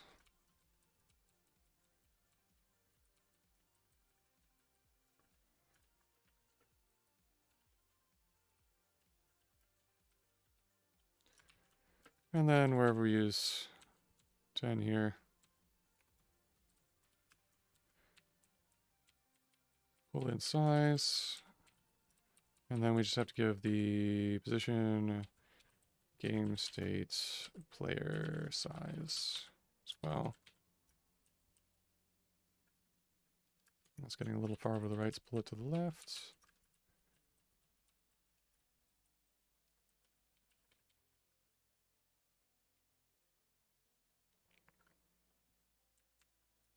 And we have to update our initialization code, so we have this error here. They'll remind us to do that, which is handy. And this will be 10.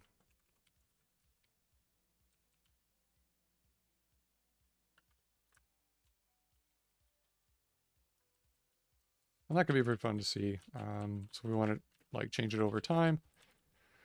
Player size equals game state. Player size plus one.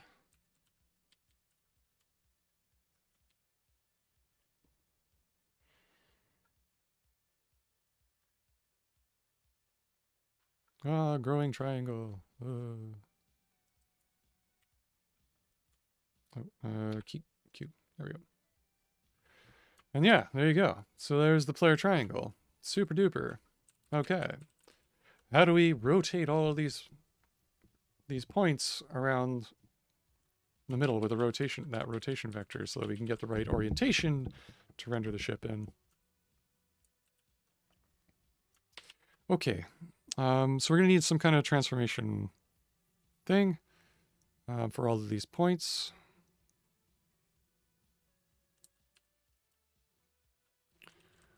Hmm.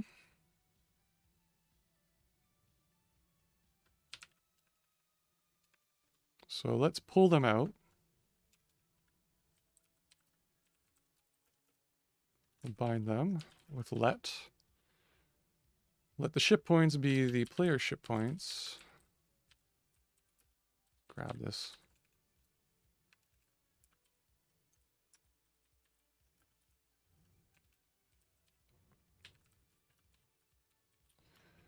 And we're going to map some function over them.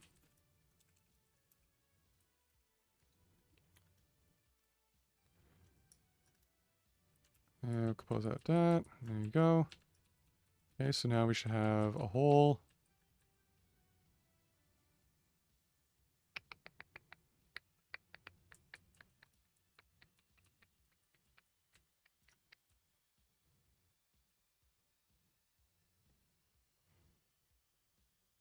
Oh, right. Um, this isn't quite working because, so this type error here um, is so if we look at what the type of ship it expected a vector of those SDL points here in the argument to draw SDL.draw lines, right? But it's saying we're getting a list of something. And we're getting a list of something because up here, let ship points, I'm using the map function, which is specifically typed to return lists. You can see the the type of map in the status line below there. Um, so we want to be able to map over the, the vector that's returned by player ship points. Uh, I think we should be able to, uh, if if it implements as a functor, fmap would be able to go inside there. But it doesn't implement functor. Okay. And so that's what this type instance here. So functors kind of let you map over containers, like inject a high level function um, to change the contents of that particular container. Kind of. Basically, that's the idea. Um, the more strict definition of like what a functor is is a bit more elegant than that, but that's as far as I'm going to go with that explanation. Um, so usually I reach for like functor. It's like one of the most common interfaces to use for a type in Haskell. It's everywhere, and I use it quite frequently.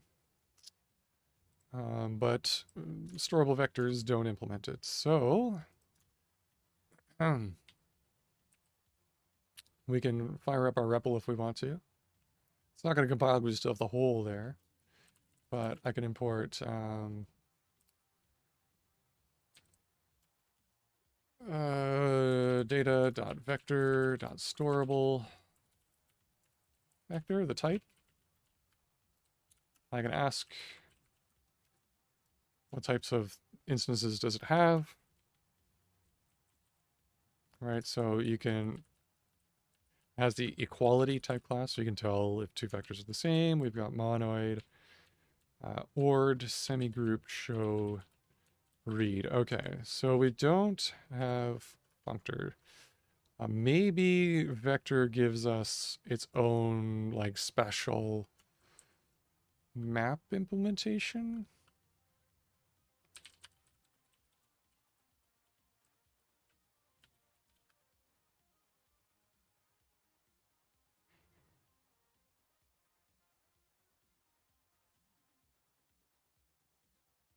So your length, null, indexing, extracting sub vectors. Construction, we can initialize monadically. We can unfold enumerate. We can enumerate the values of it, concatenate it, modifying. Okay, so yeah. Oh, there we go, mapping. So it implements its own version of map. It's probably not able to maintain the, the functor laws, so we can't have like fmap, which is fine. Sometimes common with specialized data structures. So like functors have laws, which is why uh, implementing it is awesome when you can, because then it lets users of your, your data type kind of use it with other Haskell things uh, seamlessly. And it works the way they expect it because those laws are in place. Um, but not every data structure can implement the functor laws. So that's when you get that. So we have to do v.map. Yeah.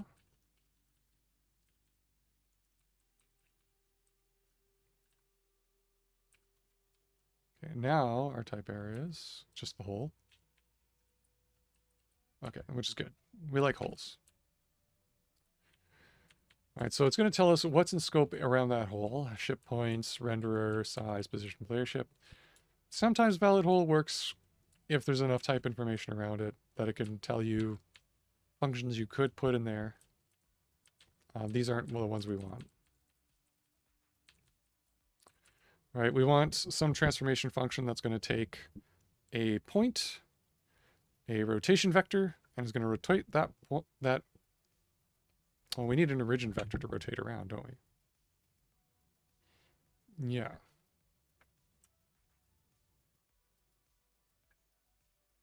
I think that's how that works, right? So we're going to have the origin point. We're going to have the, the input point, right, that we want to rotate around. And we're going to have a vector from the origin point to the unit circle. That's going to say like the rotation. I wish I had my graphics palette, but I don't right now to draw this out for you. Um, uh, maybe I can do it with my mouse. Um,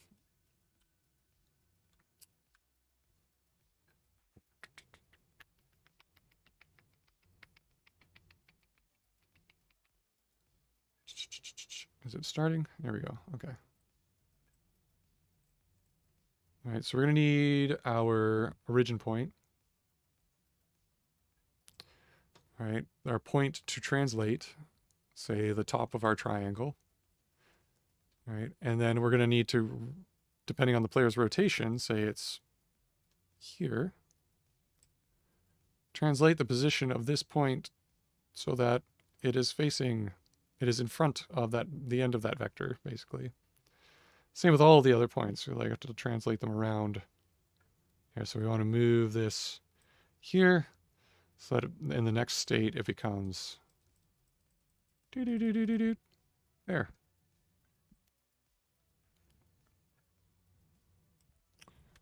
Right. And then we do it for the whole the whole set of them so that this one over here is like kind of down here will get rotated by the same amount right? And end up over here and the one that was over here will get rotated the same amount. It'll end up somewhere over there and then we draw a triangle and it'll be rotated. Cool. So wonderful programmer art. You're welcome. How are we doing for time? We're a little over over stream time. Um so we'll have to we'll have to finish this up another day, but we'll just fill this in a little bit here with our uh, transform uh, origin, maybe I'll call it. And we'll give it the origin point, uh, which will be position, uh, the rotation,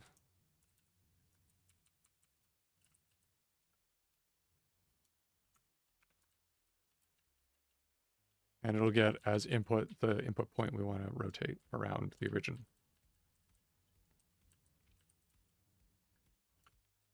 So we just have to get, bring rotation in scope, size, rotation.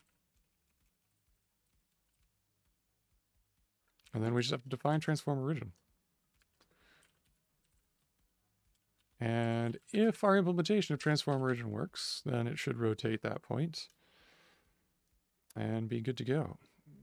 So this will be a v2 c int to v2 c int with a point, sdl.point, v2 c int, and we'll return an sdl.point v2 c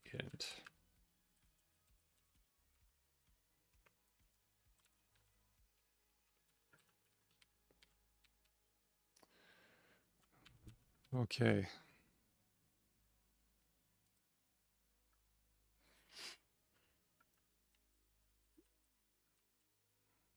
Origin, uh, rotation,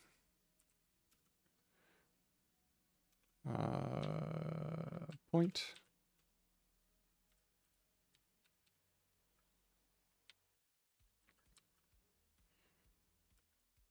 We'll pull out the vector from that.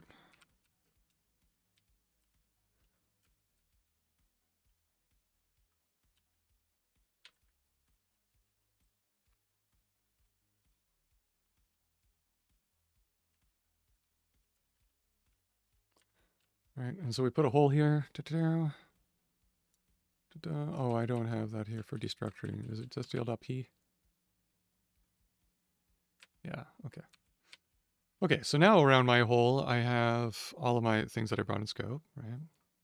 I have to return a point. So I already know what I have to return. It's going to be an SDL dot point. And then a hole.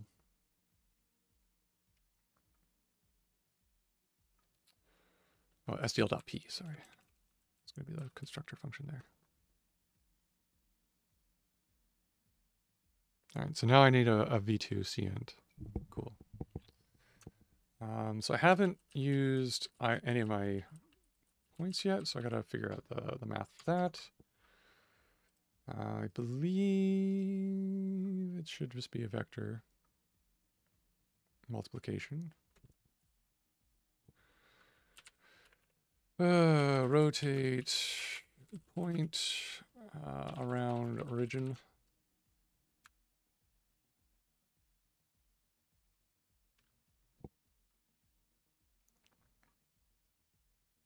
This is roughly what we want, right?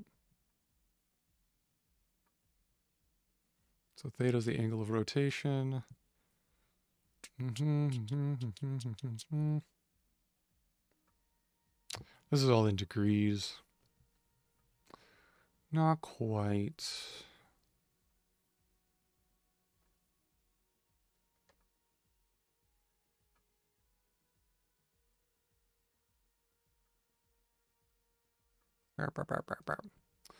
well, I am I am running a bit over time, but basically you can Stack Overflow this stuff or Math Overflow this stuff, figure out what it is, um, and and do that. So we'll we'll get to it next week. We'll start rotating that.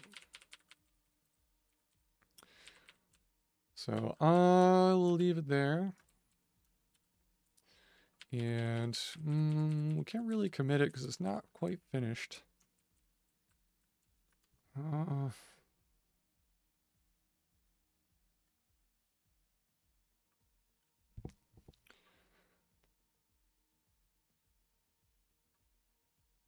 yeah, that's that's the general gist of it.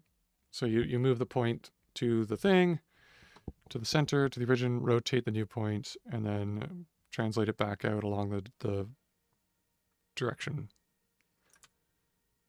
Yeah, that's pretty straightforward. Okay, we can probably do this. Okay, so... Well... We already have the origins. We just want to create a new point at the origin. Right? No, because then we wouldn't be using point.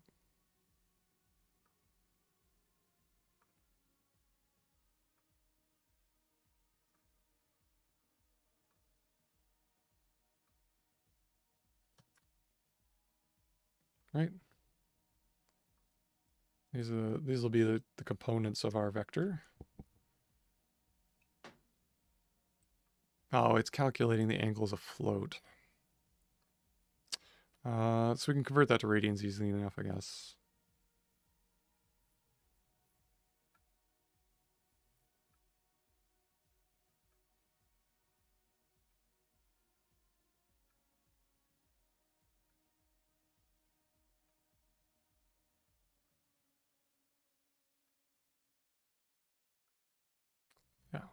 That's basically it.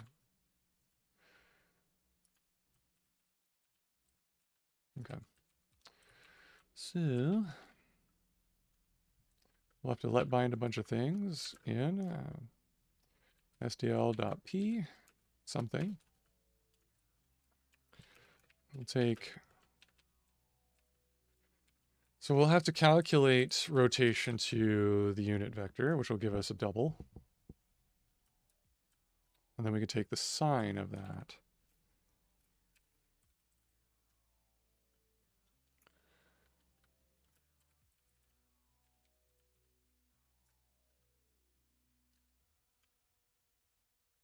And cosine, C. Unit uh, rotation as well. Or I guess I could bind that since I'm repeating it.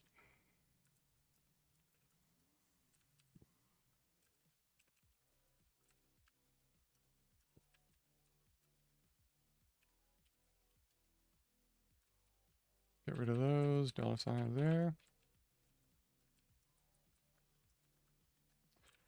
How do you calculate that?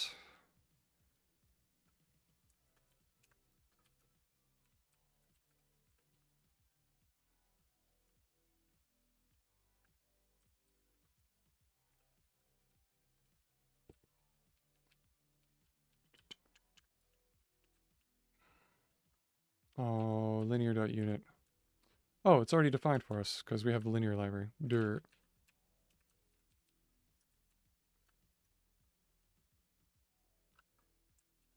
Okay, so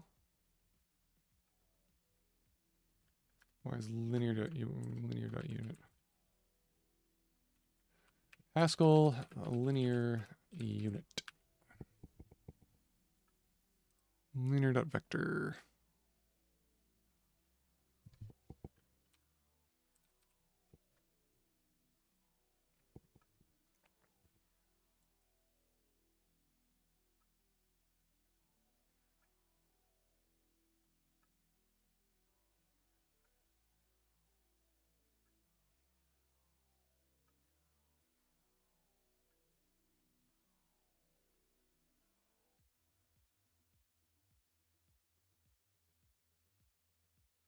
Oh, sorry, not quite the word.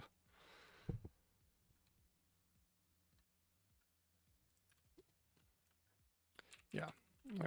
I have to, we have to calculate the angle from the rotation in some unit. Da, da, da,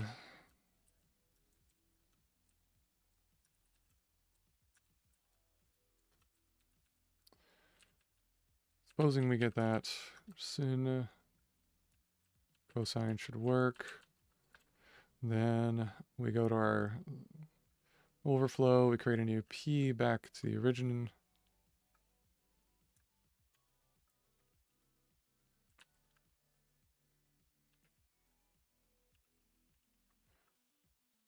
SDL.P, which would be a V2 of basically position minus the, uh, so it'll be position origin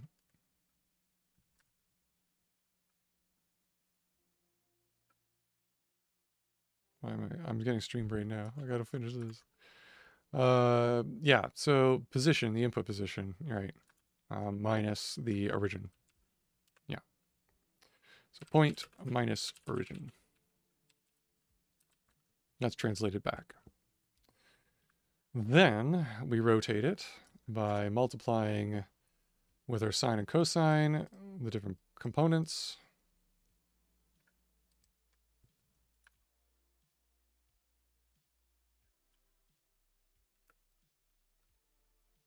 All right, so x will be px times cosine minus p dot y times cosine, not sine.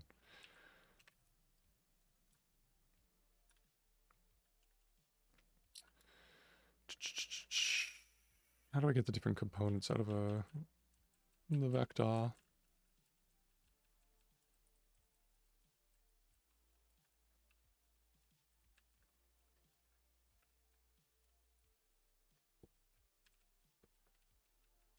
do it like that.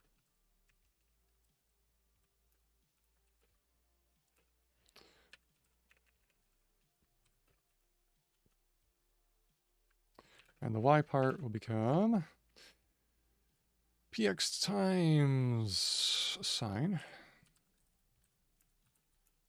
plus py times cosine.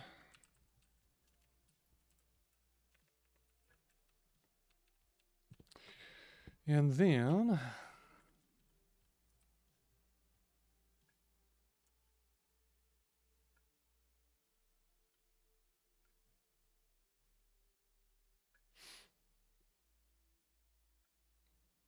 Okay, the, the subtraction instance doesn't like me doing this with uh, V2s, so we'll, we'll figure that out in a second.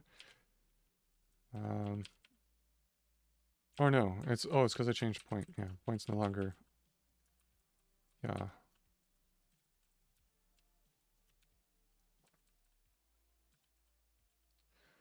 That makes more sense. Okay. Uh, what is sine and cosine don't like me? Uh, floating the int.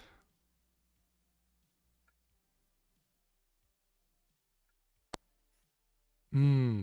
Mm-hmm. Mm-hmm. Okay. This is going to be type numerics gymnastics a bit.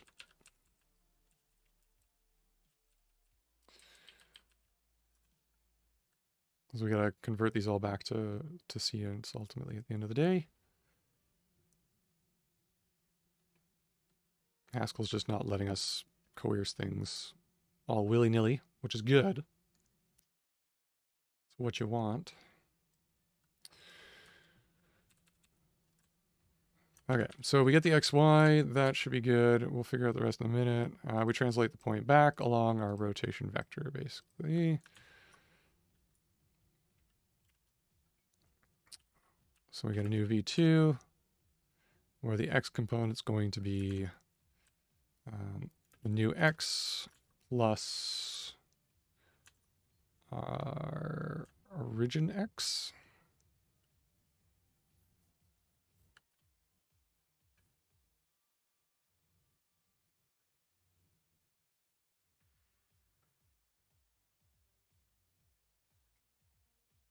Oh, I guess P, no, P is in the origin.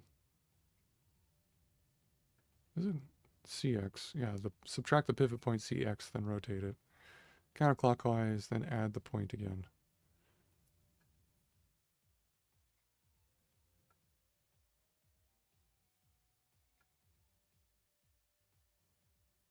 Uh, we got this somewhat messed up, but yeah, generally in the right area. So uh, x new plus cx.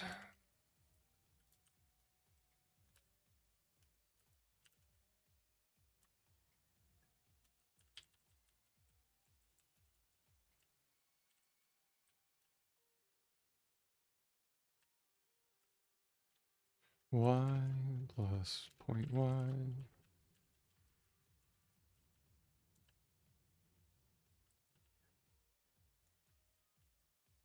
Okay, this is all not good.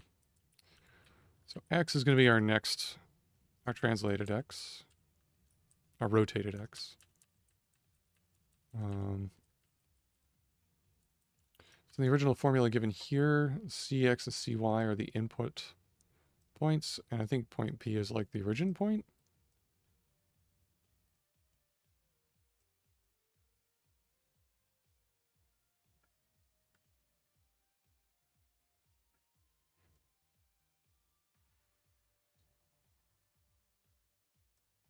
Oh, CX is the pivot point. Yeah, so that is the origin. Okay, so we're, we're not bad. We're not far off.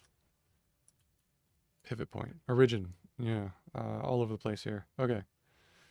Digga Get back to our code.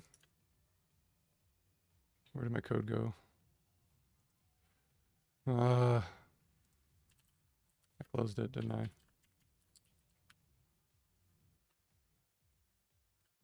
It's happening, folks. It's happening. We're almost there, though.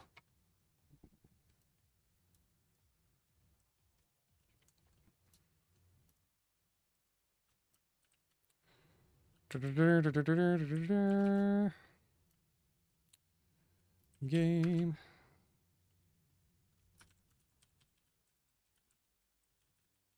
Okay, so the type gymnastics we're going to have to go through here to get back to C. Well, first we have to get the rotation, angles, radians, whatever you want to use, from uh, the rotation vector.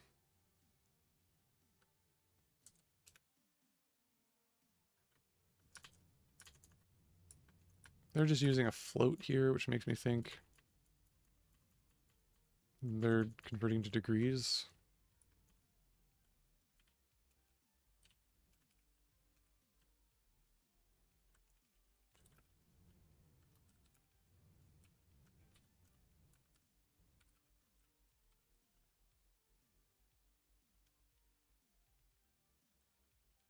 Right, so we had a function called angle that did this.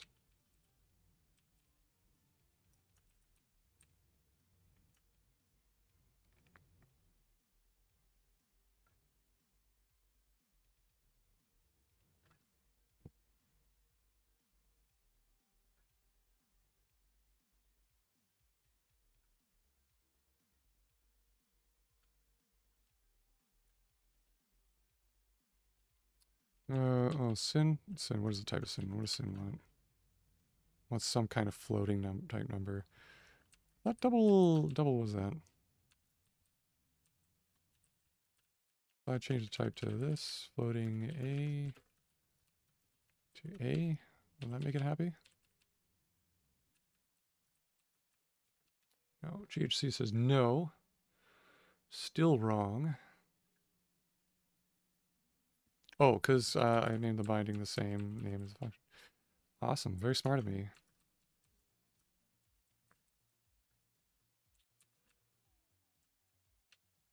So let's rename it something smarter.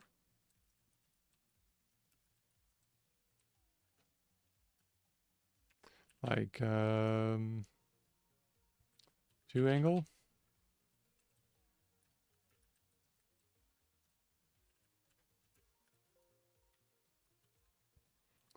Yes, that's fine. I hotKeyed around a bunch of weird places. Here we go.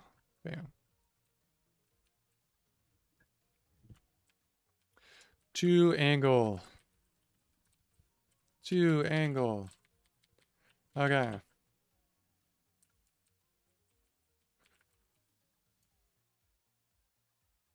Okay, so we still have like the floating CInt problem.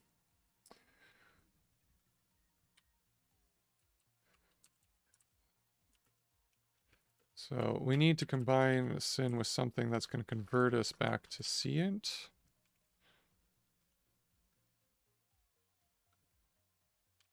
Or we leave that sine and cosine calculation there.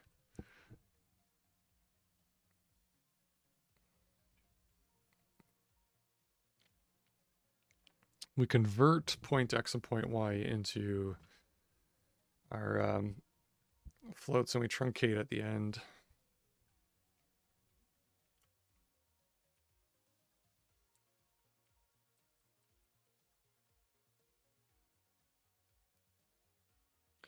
So Haskell, can we, I think we can have from integral, I think maybe.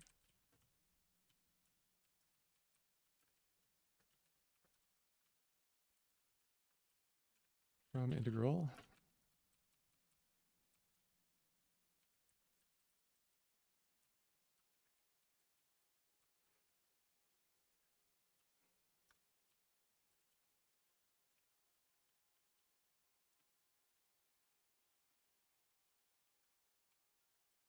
From integral.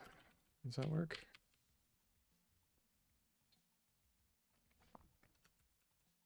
Okay, yeah, that makes us happy. Okay, and then in our output uh, point here, this hole we should be able to use. Uh, we have to convert back to CInt from our floating point numbers because x and y are now doubles.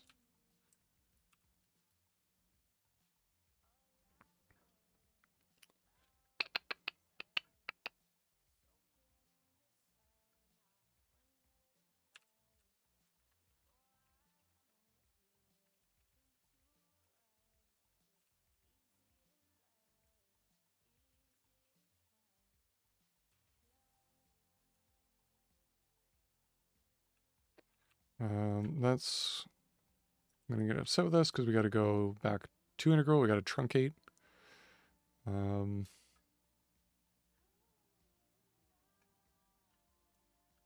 something with x. Something with y plus point y. What's that function? Uh, floor, ceiling, round. Or just truncate.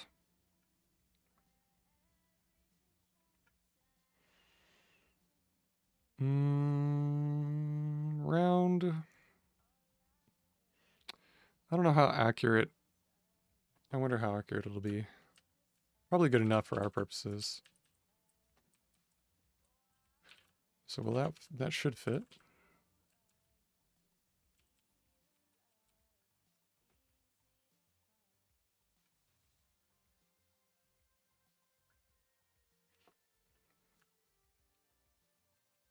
Some name shadowing errors and stylistic things.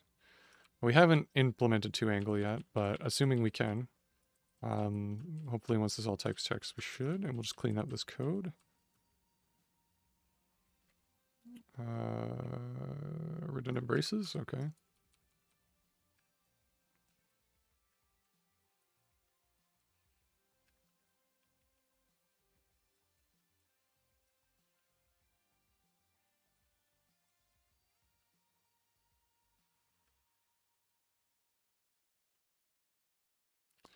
Don't really use point. Oh, I do use point. So I'm just going to rename it like P internally here.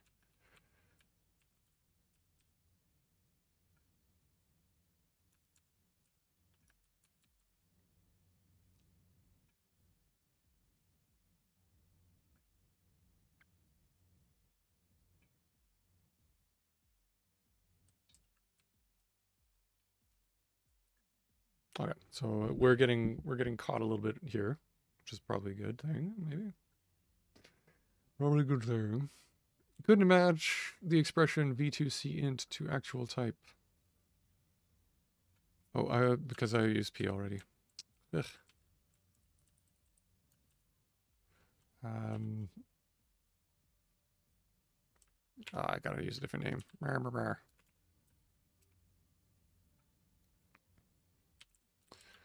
Okay, I'm gonna call it p. I'll call this p prime.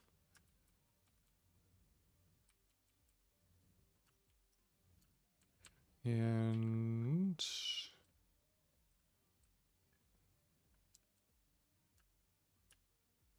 we don't use p prime.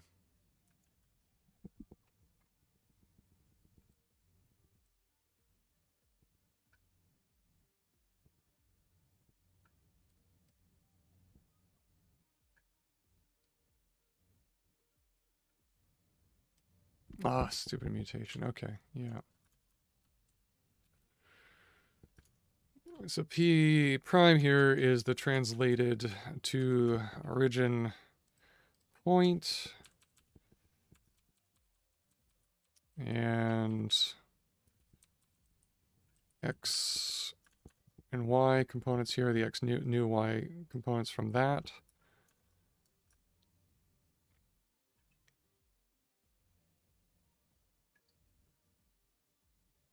So it's mutating this input point here. Okay. Gotcha.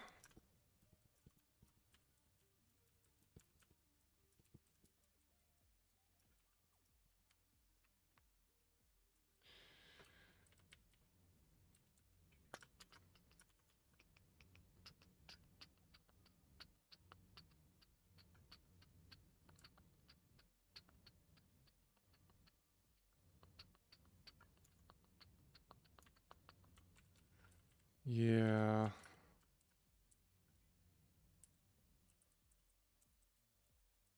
So p, we're assigning it to a new variable p prime here. Um, oh, God. I'm just getting too tired. you know what? I'm going to have to give up for now. Um, but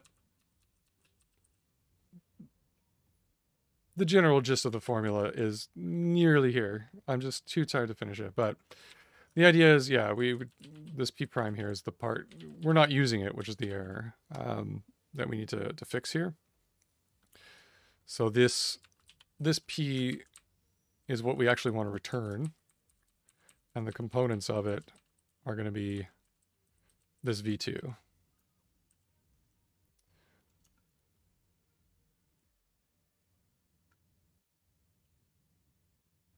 Yeah. So once we can fix that though, uh, we can implement two angle. Then we have the transform origin. All our transform points will be mapped and transformed. And we can demonstrate rotation by changing the rotation vector. Um, so that'll be next week.